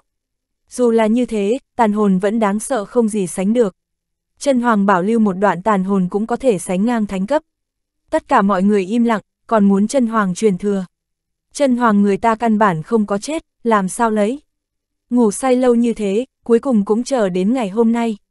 Chân hoàng tàn hồn nhìn chằm chằm vào tiểu hồng điểu. a đến, chân hoàng tàn hồn vỗ cánh, tiểu hồng điểu không tự chủ bay ra ngoài. Lăng Hàn muốn xuất thủ, hắn vừa mới bước một bước đã bị lực ai lượng cường đại chấn áp, hắn phun ra một ngụm máu tươi, hắn khó chịu không nói thành lời, cũng không có năng lực ra tay. Cứu mạng, tiểu hồng điều thét to, nghĩ thế nào cũng không giống chuyện tốt. Gánh chịu ý chí của ta, ngươi chính là hóa thân của ta, có gì phải sợ. Chân hoàng tàn hồn nói, xèo, đối phương hóa thành tia sáng và bay về phía tiểu hồng điều. Như ném đá vào biển, đạo tàn hồn này chui vào trong cơ thể tiểu hồng điều. Nhìn đến đây, mọi người không hiểu, không biết chân hoàng thời kỳ viễn cổ sử dụng thủ đoạn gì lại có một đạo tàn hồn không có hóa đạo về trời, đối phương vẫn ngủ say trong chân hoàng điện vô số năm, cho tới giờ phút này mới tỉnh lại. Đối phương chờ đợi vô số năm tháng như vậy, mục đích chỉ có một, đó chính là tìm thân thể có thể gánh chịu linh hồn của mình. Tiểu hồng điểu là hậu đại chu tước, có huyết mạch thần thú, hơn nữa cũng là loài chim, cùng thuộc hỏa hệ, tự nhiên là thể xác tốt nhất. Khó trách tiểu hồng điểu vừa đến, chín tòa cung điện lập tức mở ra, không cần tốn nhiều sức. Thì ra đây là cái hố. Vào thời điểm này, Lăng Hàn không ngừng suy nghĩ, vì cái gì bên trong nguyên thế giới cũng có chân long, chân hoàng. Từ tình huống trước mắt, nguyên thế giới chính là hình ảnh thu nhỏ của đại thế giới, nhưng vấn đề là, vì cái gì bên trong nguyên thế giới xuất hiện nhiều chủng tộc như thế. Từ nơi sâu xa, chẳng lẽ có lực lượng nào đó đang thao túng và ảnh hưởng hay sao? Nhìn sang thằn lằn, tiểu hồng điểu cùng chân hoàng tàn hồn, chẳng phải đối ứng với ứng long, chu tước, phượng hoàng trong nguyên thế giới, rốt cuộc chuyện này là như thế nào? Lăng Hàn có thể khẳng định, nguyên thế giới tuyệt đối không phải tồn tại giống bí cảnh xào huyệt chân hoàng, mà là một phương thế giới chân chính, nó độc lập, thiên địa đạo tác hoàn mỹ, bởi vì cấp độ nên nguyên thế giới còn kém hơn rất nhiều. Hắn không ngừng suy nghĩ, Lăng Hàn vội vàng khôi phục tinh thần, hiện tại là thời điểm nghĩ những chuyện này sao? Một đạo chân hoàng tàn hồn vượt qua vô số năm trở về, lực lượng cao tới thánh cấp, Lăng Hàn có thể đối kháng sao? Nghĩ như thế nào cũng giống châu chấu đá xe, làm sao bây giờ, làm sao bây giờ, Lăng Hàn nhíu mày, mặc dù miệng của tiểu hồng điểu rất cay độc, thích ăn vạ, gặp phải khó khăn sẽ bỏ chạy, sau khi gia nhập đoàn đội của hắn thì chính là người một nhà. Hắn chưa bao giờ nhìn người một nhà gặp nạn, chân hoàng nhập thể, tuyệt đối là chân hoàng tàn hồn chiếm cứ chủ động, linh hồn tiểu hồng điểu khẳng định sẽ bị chôn vùi, cho nên, tiểu hồng điểu sẽ chết đi, chỉ còn lại thân thể của nàng mà thôi. Ông, đúng lúc này phát sinh biến hóa, Lăng Hàn cảm giác hỏa điểu trượng trong tay phát sáng, toàn thân rực sáng, xèo, sau đó nó tự bay lên không trung. Không chỉ như vậy, pháp khí không gian tự động vỡ vụn, viên châu thần bí kia tự động bay lên và bay về phía hỏa điều trượng. A, à, tám trưởng lão nhìn thấy hỏa điều trượng của mình mất đi khống chế, chúng cùng bay lên không trung. Sau đó, chín hỏa điều trượng tụ họp, chúng dung hợp làm một, mà hạt châu thần bí kia khảm vào và dung hợp thành một cây trượng mới, nó không còn màu đỏ rực như trước, hiện tại cây trượng có màu xanh lam và tỏa ra cảm giác mát mẻ. Chân Hoàng, ta phụng ngươi làm chủ, đi theo ngươi Nam Trinh Bắc Chiến, nhưng ngươi vì bản thân chuyển sinh mà vô tình sát hại chín lão huynh đệ. Trong cây trượng xuất hiện một bóng mờ, đó là hình người, mặc dù cùng là tàn hồn nhưng có thể thấy rõ ràng, hai tay của hắn trần trụi, trên cánh tay có hình xăm hỏa diễm. Lão Tổ, nhìn thấy bóng người này, tám trưởng lão và người hỏa phu tộc đều kích động, đó là lão tổ tông của bọn họ, luôn được cung phụng trong hỏa phu điện, có ai chưa từng gặp qua. Nhưng người nào có thể nghĩ lão tổ tông vẫn chưa có chết. Nghe hắn nói như vậy, chín đại tướng lúc trước là bị chân hoàng tự tay giết chết, mà lão tổ hỏa phu tộc lại lưu lại một tay, hắn vẫn bảo trì tàn hồn và sống lại. Lăng Hàn nhe răng, đây là ân oán vượt qua bao nhiêu năm rồi. Tàn hồn lão tổ hỏa phu tộc cầm cây trượng và lao về phía tiểu hồng điểu, đầu trượng phát sáng và khí thức thánh cấp sôi trào. Đây chính là thánh khí. Nếu chân hoàng ở thời kỳ toàn thịnh sẽ không cần lưu ý, đại đế chỉ cần dùng ánh mắt cũng có thể giết thánh nhân mấy lần, nhưng bây giờ chân hoàng chỉ là tàn hồn, đang ở thời khắc mấu chốt dung hợp với thân thể tiểu hồng điều. Lão tổ hỏa phu tộc lựa chọn thời cơ chất vấn rất đúng lúc. Chỉ thấy tiểu hồng điều dương cánh ra, nàng đánh ra phù văn tỏa sáng rực rỡ, bành, cây trượng bị đánh bay, mà tàn hồn lão tổ hỏa phu tộc chập trần giống như ngọn nến trong gió. Dù sao, hắn thời kỳ toàn thịnh chỉ là thánh cấp, hiện tại chỉ còn lại có một đạo tàn hồn, hắn còn bao nhiêu uy năng. Lão tổ hỏa phu tộc lại cười ha ha, chân hoàng a chân hoàng, không nghĩ tới sao, người bố cục ức vạn năm, hiện tại thất bại trong gang tấc, trong nội tâm rất đau khổ đúng không? Không sai, ta muốn người nếm thử cảm giác tuyệt vọng và tư vị bị phản bội đấy. Ai, trong tiếng than thở, chân hoàng tàn hồn trong cơ thể tiểu hồng điều càng trong suốt, hắn nhìn lão tổ hỏa phu tộc, lắc đầu, nói. Ông bạn già, người hiểu lầm ta, hiểu lầm, hỏa phu tộc lão tổ cười lạnh, nói. Chẳng lẽ ta tận mắt thấy ngươi giết chín người chúng ta cũng là hiểu lầm. May mắn ta sớm có dự cảm, sớm bố cục, nếu không, ta cũng ôm hận xuống cửu tuyền, sẽ không có ngày báo thù hôm nay. Chân hoàng tàn hồn ngửa mặt lên trời cười to, trời xanh a trời xanh, lúc trước ta muốn sáng tạo bí thuật dục hỏa trọng sinh, sống thêm đời thứ hai, lại bị ngươi làm thiên phạt, chịu đạo thương chí mạng. Trước khi ta chết, ta bố trí đại cục, muốn tìm kiếm người có huyết mạch tương thông truyền thừa ý chí của ta, có thể sống lại thêm lần nữa. Không nghĩ tới lại công dã tràng, chương 4816, thất bại trong gang tấc. Bị lão tổ hỏa phu tộc ngăn cản vào lúc mấu chốt, hoàn toàn đánh gãy dung hợp giữa chân hoàng tàn hồn và tiểu hồng điểu, hắn chỉ có một cơ hội, cũng là cơ hội duy nhất chân hoàng tàn hồn lấn trời giấu địa, cũng chuẩn bị suốt ức vạn năm. Bỏ lỡ lần này sẽ không có lần sau, mưu sự tại nhân, thành sự tại thiên, chân hoàng tàn hồn thở dài, hắn có cảm giác bi tráng. Ha ha ha ha, người cuối cùng đã nếm thử quả đằng. Lão tổ hỏa phu tộc cười to, nói, tới đi, giết lão phu đi, ngược lại ta đã phá hủy con đường chuyển sinh của ngươi, lão phu có thể yên tâm đi được rồi, đi gặp tám vị lão huynh đệ. Cùng là tàn hồn, hắn chỉ là thánh nhân biến thành, làm sao có thể so sánh với chân hoàng, tự nhiên sẽ không chịu nổi một kích. Chân hoàng tàn hồn không có xuất thủ, chỉ lắc đầu. Thế nào, còn giả mù sa mưa sao? Hỏa phu tộc lão tổ nói. Hai người đang nghĩ giày võ lão phu. Không quan trọng, lão phu hiện tại chỉ có vui vẻ, chỉ có khoái ý. Ông bạn già, chân hoàng tàn hồn lắc đầu, nói, ngươi hiểu lầm ta, năm đó ta muốn dục hỏa trùng sinh, nhưng bị lão thiên gia đánh gãy, cho nên bố cục vào đời sau. Ta có nắm chắc 10 phần có thể tu thành vào đời sau, cũng vì các ngươi và ta huy hoàng lần nữa, ta mới lấy đi linh hồn của các ngươi, muốn các ngươi cùng theo ta chinh chiến thiên hạ.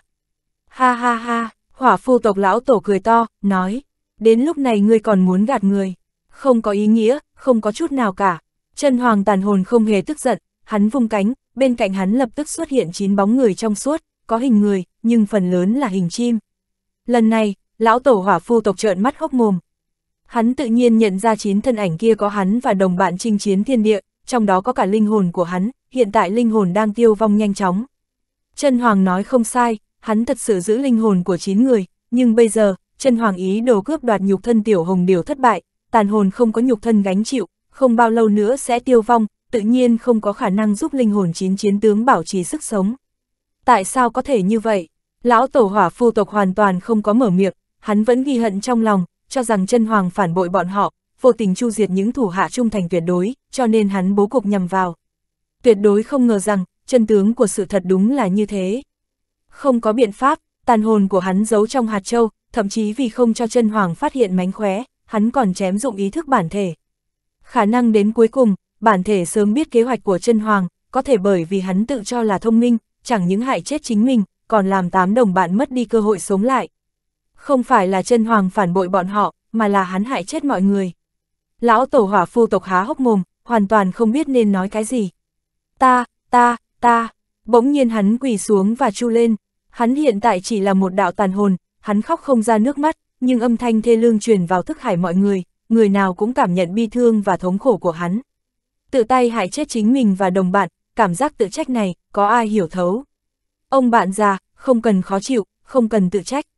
Chân hoàng tàn hồn thoải mái hơn nhiều, đấu với trời vốn đầy biến số, thắng thì sống lần thứ hai, thua thì mất tất cả. Ông bạn già, cùng lên đường đi, lão tổ hỏa phu tộc có cửu hận ủng hộ mới vượt qua ước vạn năm, bây giờ lại thành vô tận tự trách, làm sao có thể vì mấy câu của chân hoàng mà ngộ ra.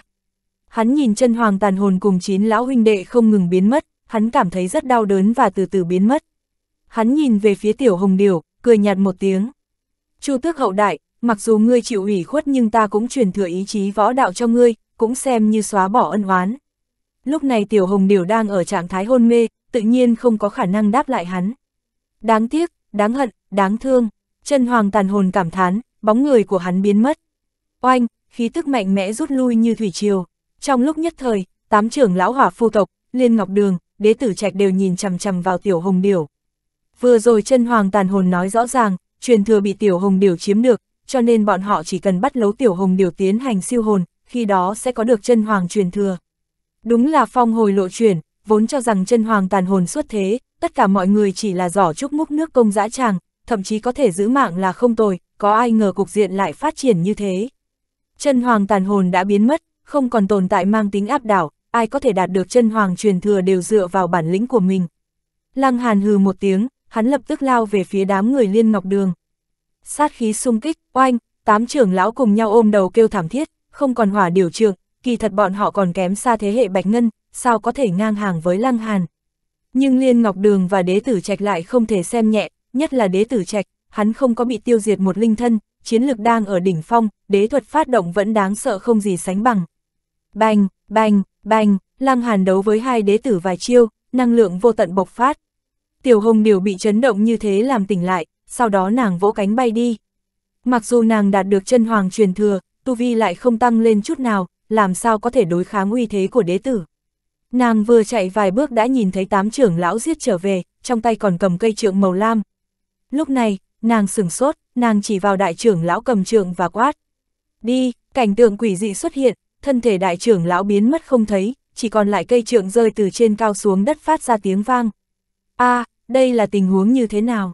Còn lại bảy trưởng lão, trong đó thế hệ Bạch Ngân cũng kinh hãi, việc này quá tà dị. Tiểu Hồng Điều cười ha ha, mau mau cút, từng ngón tay điểm ra, bảy trưởng lão đều biến mất. Mọi người hoảng hốt, đây là truyền tống hay thần hồn câu diệt. Mặc dù Tiểu Hồng Điều chỉ là chân ngã cảnh, nàng đã đạt được chân hoàng truyền thừa, chẳng khác gì chủ nhân nơi này, mượn dùng trận pháp đại đế, muốn tiêu diệt mấy hóa linh cảnh còn không đơn giản. chương 4817, buông tay đánh một trận. Lăng Hàn nhìn về phía tiểu hồng điểu, dùng thần thức truyền âm hỏi. Người có thể điều khiển nơi này trận pháp, ân, có thể ném người ra khỏi bí cảnh.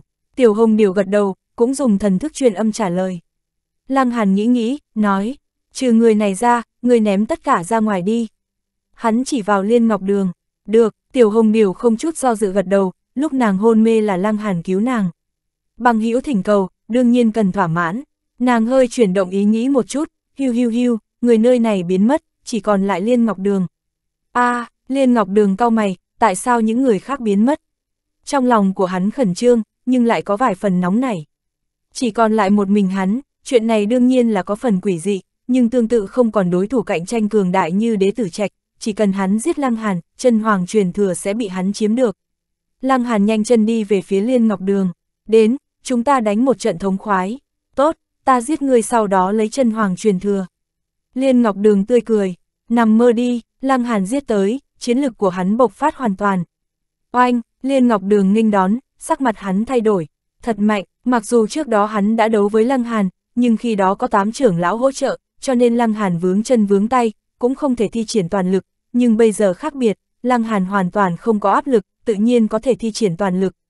Banh, banh, banh, hai người không ngừng đấu nhau, về mặt sức mạnh vẫn là Liên Ngọc Đường mạnh hơn một chút, nhưng vượt qua có hạn, Lăng Hàn thể phách cường hoành, có thể tự mình hóa giải sức mạnh công kích, cho nên ưu thế của hắn dần dần hiện ra.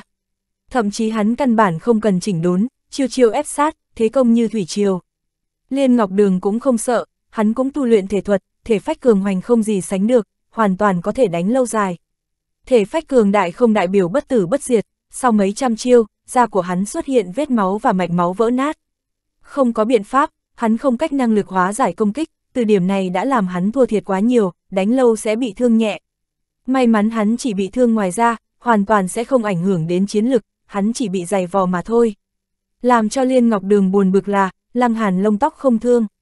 Hắn bị đả kích rất lớn, hắn có thể tiếp nhận bị thương, nhưng đó là thời điểm hắn nắm giữ ưu thế, đối phương bị thương nặng hơn hắn, nhưng còn bây giờ thì sao, Lăng Hàn không có thương thế, hắn khó có thể tiếp thu sự thật như vậy. Lăng Hàn mạnh hơn hắn, ý nghĩa tiếp tục đánh lâu dài, hắn thất bại, thậm chí sẽ chết. Như vậy sao được, hắn hừ một tiếng, hắn vận dụng pháp khí. Trước đó, hắn căn bản khinh thường vận dụng pháp khí, cho rằng tự thân là vô địch cùng giai, nhưng bây giờ hắn không bằng Lăng Hàn, hắn cũng buông bỏ kiêu ngạo của mình. Giết địch, đoạt truyền thừa, oanh, hắn huy động trường kiếm đỏ thấm, một kiếm chém ra, kiếm khí dài ngàn trượng chém vào Lăng Hàn. Đây là pháp khí lục tinh, có thể đánh ra uy năng cấp giáo chủ, bởi vì giới hạn bởi cảnh giới của Liên Ngọc Đường, công kích cũng chỉ đạt tới chuẩn giáo chủ. Nhưng chuẩn giáo chủ còn không đủ giết Lăng Hàn hay sao? Kiếm khí chém tới, uy lực cực kỳ đáng sợ. Lăng Hàn hừ một tiếng, chỉ có ngươi mới có pháp khí hay sao? Ông, hỗn độn cực lôi tháp phù xuất hiện trên đỉnh đầu của hắn. Kiếm khí chém tới đã bị hỗn độn cực lôi tháp cản lại, lực lượng vô tận và quy tắc đánh vào thân tháp, bảo tháp run rẩy nhưng không bị tổn thương gì. Ân, Liên Ngọc Đường ngây người, đây là tình huống như thế nào? Cái tháp này, hắn tập trung nhìn vào, bỗng nhiên hắn kêu lên đầy sợ hãi. Đế binh, hắn vừa nói xong lại lắc đầu, đây không phải đế binh, còn lâu mới có được bá khí nghiền ép thương sinh của đế binh, nhưng từ góc độ đó mà nói, nó đã không khác gì so với đế binh. Hắn hiểu ra, ánh mắt đỏ rực, mẫu kim đúc thành pháp khí, đỏ mắt sao, lang hàn cười nói, đáng tiếc, ngươi chẳng những không có khả năng đạt được, ngươi còn bị ta chém giết.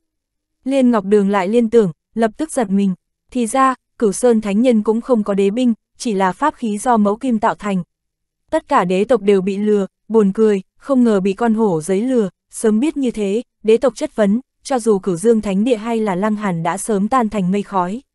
Không sao, chờ hắn giết chết lăng hàn, tay cầm chuẩn đế binh, thu hoạch này rất lớn. Người còn mơ mộng hão huyền, lăng hàn lắc đầu, hắn bảo tiểu hồng điều đuổi tất cả mọi người ra ngoài, chỉ lưu lại liên ngọc đường chính là muốn thuận tiện diệt khẩu. Chỉ là mẫu kim tạo thành, cũng không phải đế binh chân chính, ta còn gì phải sợ. Liên ngọc đường giết tới gần, trường kiếm trong tay chém xuống, kiếm khí sung thiên. Hắn còn có át chủ bài, cho nên hắn tràn đầy tự tin. Lăng Hàn vận dụng hỗn độn cực lôi tháp đối kháng kiếm khí, bản thân lại xuất quyền ngạnh kháng với Liên Ngọc Đường, hắn muốn mải chết đối thủ. Bành, bành, bành, chiến đấu tiếp tục, qua gần nửa ngày, chiến lực của Liên Ngọc Đường giảm xuống. Trong kịch chiến như thế, bí lực dự trữ của hắn đã theo không kịp, trái lại với Lăng Hàn, hắn bí lực của hắn chính là vị diện trong cơ thể, có thể nói mênh mông như ngôi sao, hoàn toàn không cần lo lắng sẽ bị hao tổn hết. Liên Ngọc Đường cũng ý thức được, gia hỏa Lăng Hàn này quá mức biến thái, chẳng những thể phách mạnh hơn hắn, hơn nữa bí lực không dứt, gần như vô cùng vô tận. Tiếp tục như vậy, hắn sẽ bị mài chết, chỉ có thể vận dụng át chủ bài. Lăng Hàn, là ngươi ép ta. Hắn quát lớn, oanh, trong người hắn bộc phát uy lực cường đại. Hắn không có thiêu đốt đế huyết, mà là hắn đột phá. Tiểu thừa cảnh, giáo chủ, Lăng Hàn kinh ngạc, đột phá ở nơi này, có thể làm được sao? Liên Ngọc Đường chính là thế hệ Hoàng Kim, Lăng Hàn tin tưởng đối phương có tư chất như vậy, có năng lực đột phá trong chiến đấu. Nhưng nơi này là bí cảnh, thiên địa quy tắc có thiếu, chẳng lẽ không có ảnh hưởng. Có thể cảm ứng khí thức Liên Ngọc Đường, quả thật có biến hóa nghiêng trời lệch đất, tuyệt đối không phải hóa linh cảnh có khả năng với tới. Chỉ có thể nói, đế tộc thủ đoạn nghịch thiên, ha ha ha, người căn bản không có khả năng biết rõ, ta đã sớm một chân bước vào giáo chủ, chỉ vì truy cầu hóa linh cảnh hoàn mỹ, lúc này ta mới áp chế. Liên Ngọc Đường cao ngạo nói, cho nên, ta cũng tùy thời có thể đột phá, sau này ta không thể áp chế được nữa mà thôi. Đây chính là thực lực cùng nội tình của đế tộc, đặt trên thân người thường, đây là việc không có khả năng. Bản thân hắn hiện tại có tu vi chuẩn giáo chủ, khi đó hắn có thể vận dụng pháp khí bộc phát uy năng cấp giáo chủ, Lăng Hàn ngăn cản thế nào. Mẫu kim chân quý và hy hữu nhưng không trải qua cường giả luyện chế, nó không cách nào phát huy uy lực chân chính. Lăng Hàn, người bây giờ hối hận không? Liên Ngọc Đường nói, hắn dùng tư thế bế nghễ nhìn Lăng Hàn. Hắn hiện thật sự nắm giữ ưu thế tuyệt đối. Lăng Hàn mỉm cười, hắn nói với Tiểu Hồng Điều, chúng ta cần phải đi. chương 4818, lưu đầy vĩnh viễn. Đi, có ý gì? Liên Ngọc Đường sướng sờ, đã thấy Lăng Hàn, Tiểu Hồng Điều, Đại Hắc Cẩu đều biến mất không thấy gì nữa. Hiện tại, toàn bộ chân hoàng bí xào chỉ còn lại một mình hắn mà thôi. Hắn giật mình, sau đó khẩn trương, mình bị vây ở chỗ này. Hiện tại hắn có thể phát huy chiến lược cấp giáo chủ, hắn vô địch tại nơi này thì làm được gì? Chiến đấu với hỏa điều, cùng đấu với hỏa quy sao? Nơi này là bí cảnh, đạo tắc có thiếu, hắn có thể bước vào giáo chủ là vì hắn sớm tiến vào cảnh giới này, cưỡng ép lui ra ngoài, cho nên bước vào tiểu thừa cảnh sẽ yêu cầu hoàn cảnh đặc thù. Cho nên muốn đột phá tôn giả cần phải có thiên địa đạo tắc hoàn chỉnh. Bị vây ở chỗ này, cả đời của hắn chỉ bồi hồi ở cấp giáo chủ, vĩnh viễn không có ngày tiến bộ. Lăng Hàn, người đi ra cho ta, ra đây, hắn lớn tiếng kêu lên, nhưng chung quanh chỉ còn tiếng nói của hắn vọng về. Liên Ngọc Đường hoảng sợ, hắn thực sự bị ném trong này, một mình hắn ở đây. Nhưng hắn là thế hệ hoàng kim, muốn tranh đoạt đế vị, cho dù chết cũng phải chết trên đế lộ, hắn không muốn bị vây tại nơi này, hắn không muốn thường thường soảng xính vượt qua quãng đời còn lại.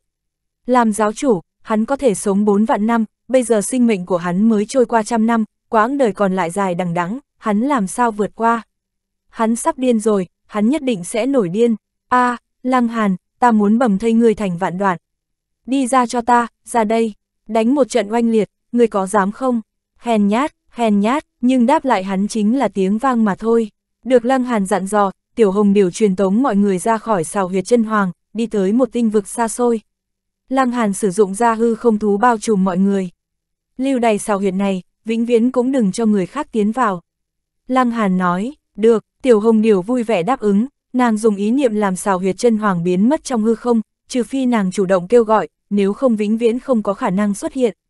Hoặc có vị đại đế nào đó xuất thế đặc biệt dò xét nơi này, khi đó mới có khả năng tìm ra xào huyệt chân hoàng, trừ việc đó ra, tuyệt đối không có biện pháp khác. Ha ha, liên biểu ca cứ như vậy vĩnh viễn lưu lại trong bí cảnh. Đại hắc cầu cười nói, ai bảo hắn nhất định muốn giết tiểu hàn tử, không có giết hắn đã không tệ rồi. Tiểu thanh long nói, đệ muội, người sẽ không sinh lòng oán hận chứ.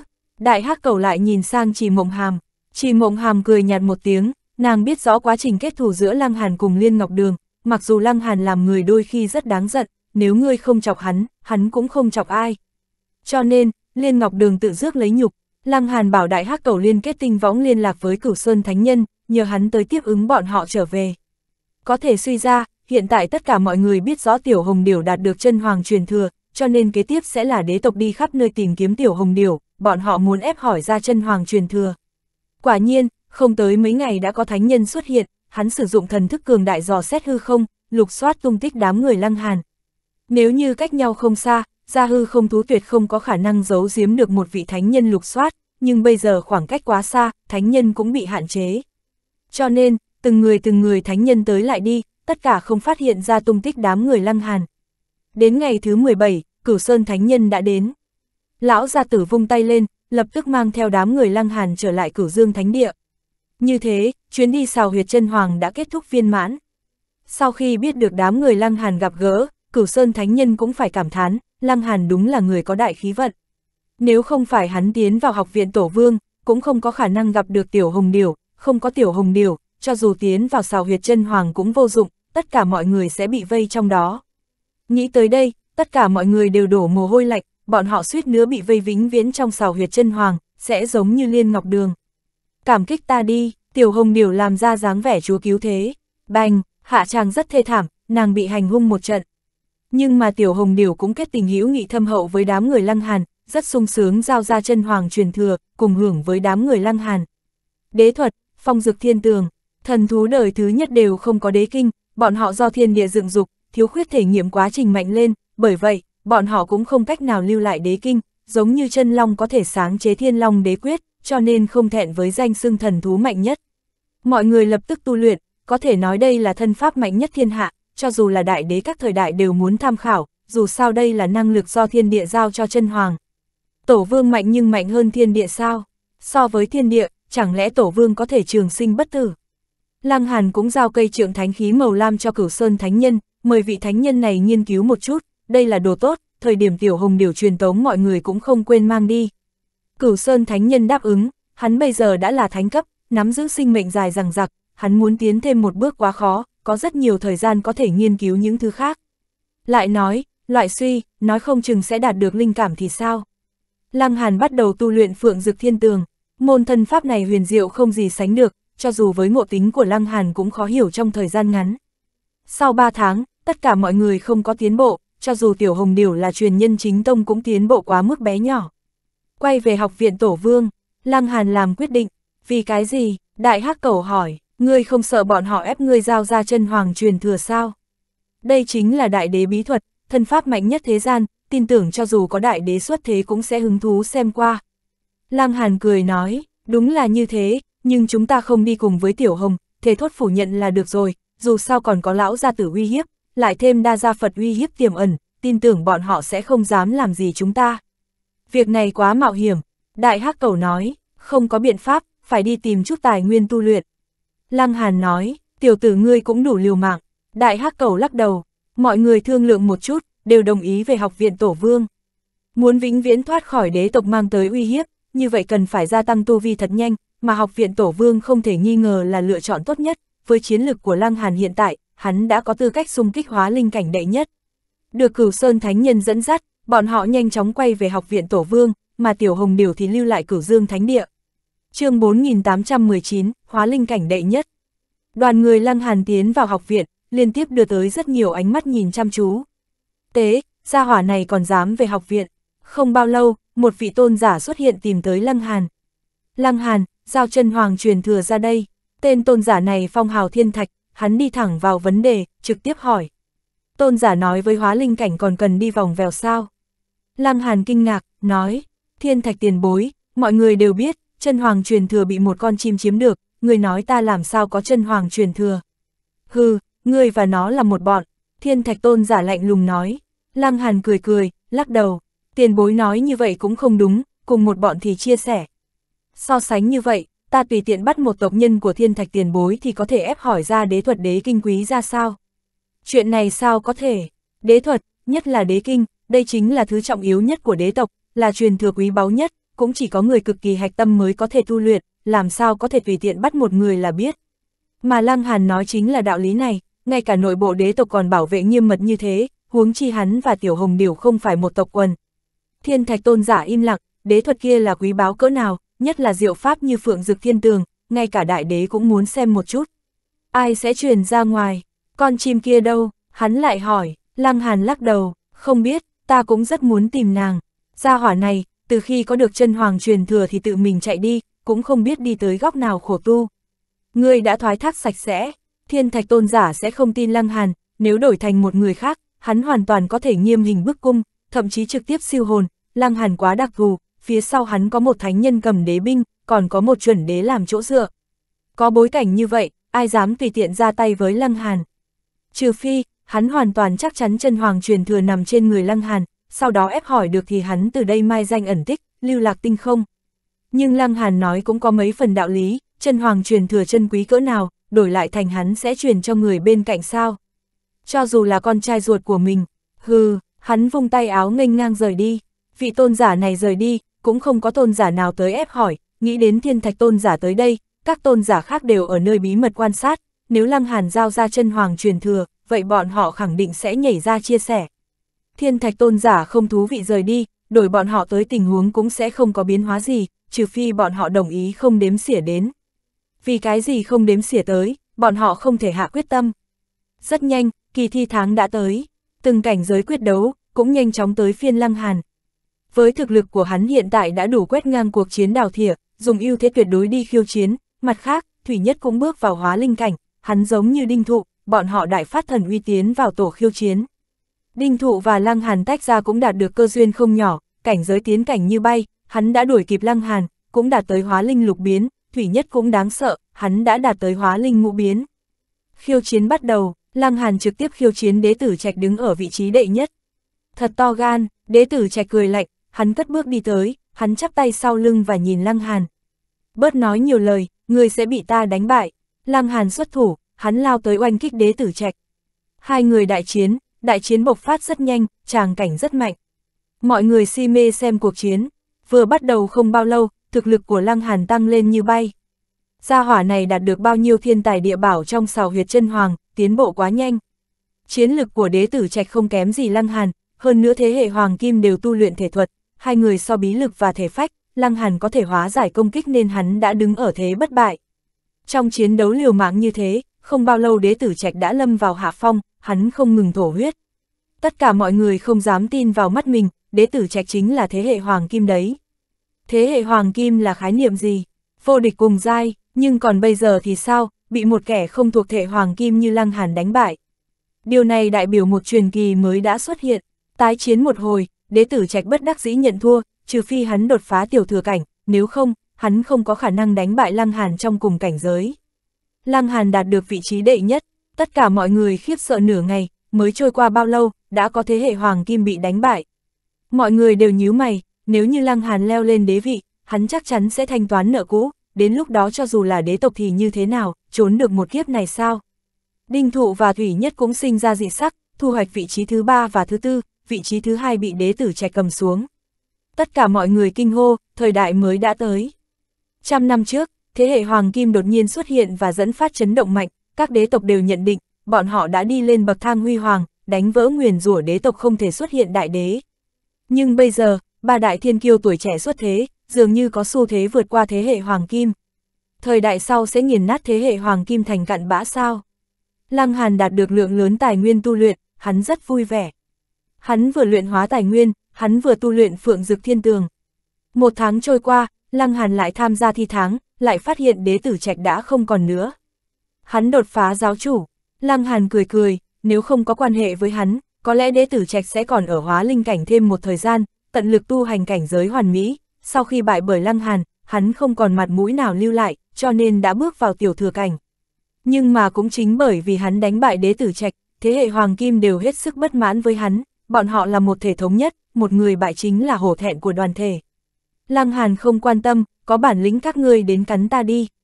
Đinh Thụ và Thủy Nhất đều khiêu chiến hắn, hắn dễ dàng đánh bại mọi người, hắn đã từng đạt đến đệ thập hình, muốn thắng hắn, cho dù là Đinh Thụ cùng Thủy Nhất cũng phải dựa vào cảnh giới nghiền ép mới được. Đánh nhau cùng cấp, thật có lỗi, hắn tuyệt đối vô địch, một tháng lại một tháng, thời gian trôi qua rất nhanh, Lăng Hàn vẫn chiếm cứ bảo tọa đệ hóa linh cảnh đệ nhất, dòng dã một năm qua đi, hắn luyện hóa nhiều tài nguyên và tiến vào thất biến. Làm cho hắn cao hứng nhất là, hắn có đột phá khi tu luyện phượng dực thiên tường. Trên tinh cầu hoang vu, Lăng Hàn đang di chuyển tốc độ cao, hắn muốn tu luyện phượng dực thiên tường, tự nhiên không có khả năng bị người khác nhìn thấy, bằng không việc vui lớn lắm. Oanh, thân thể hắn ra tốc cực nhanh, sau lưng xuất hiện hư ảnh hỏa phượng.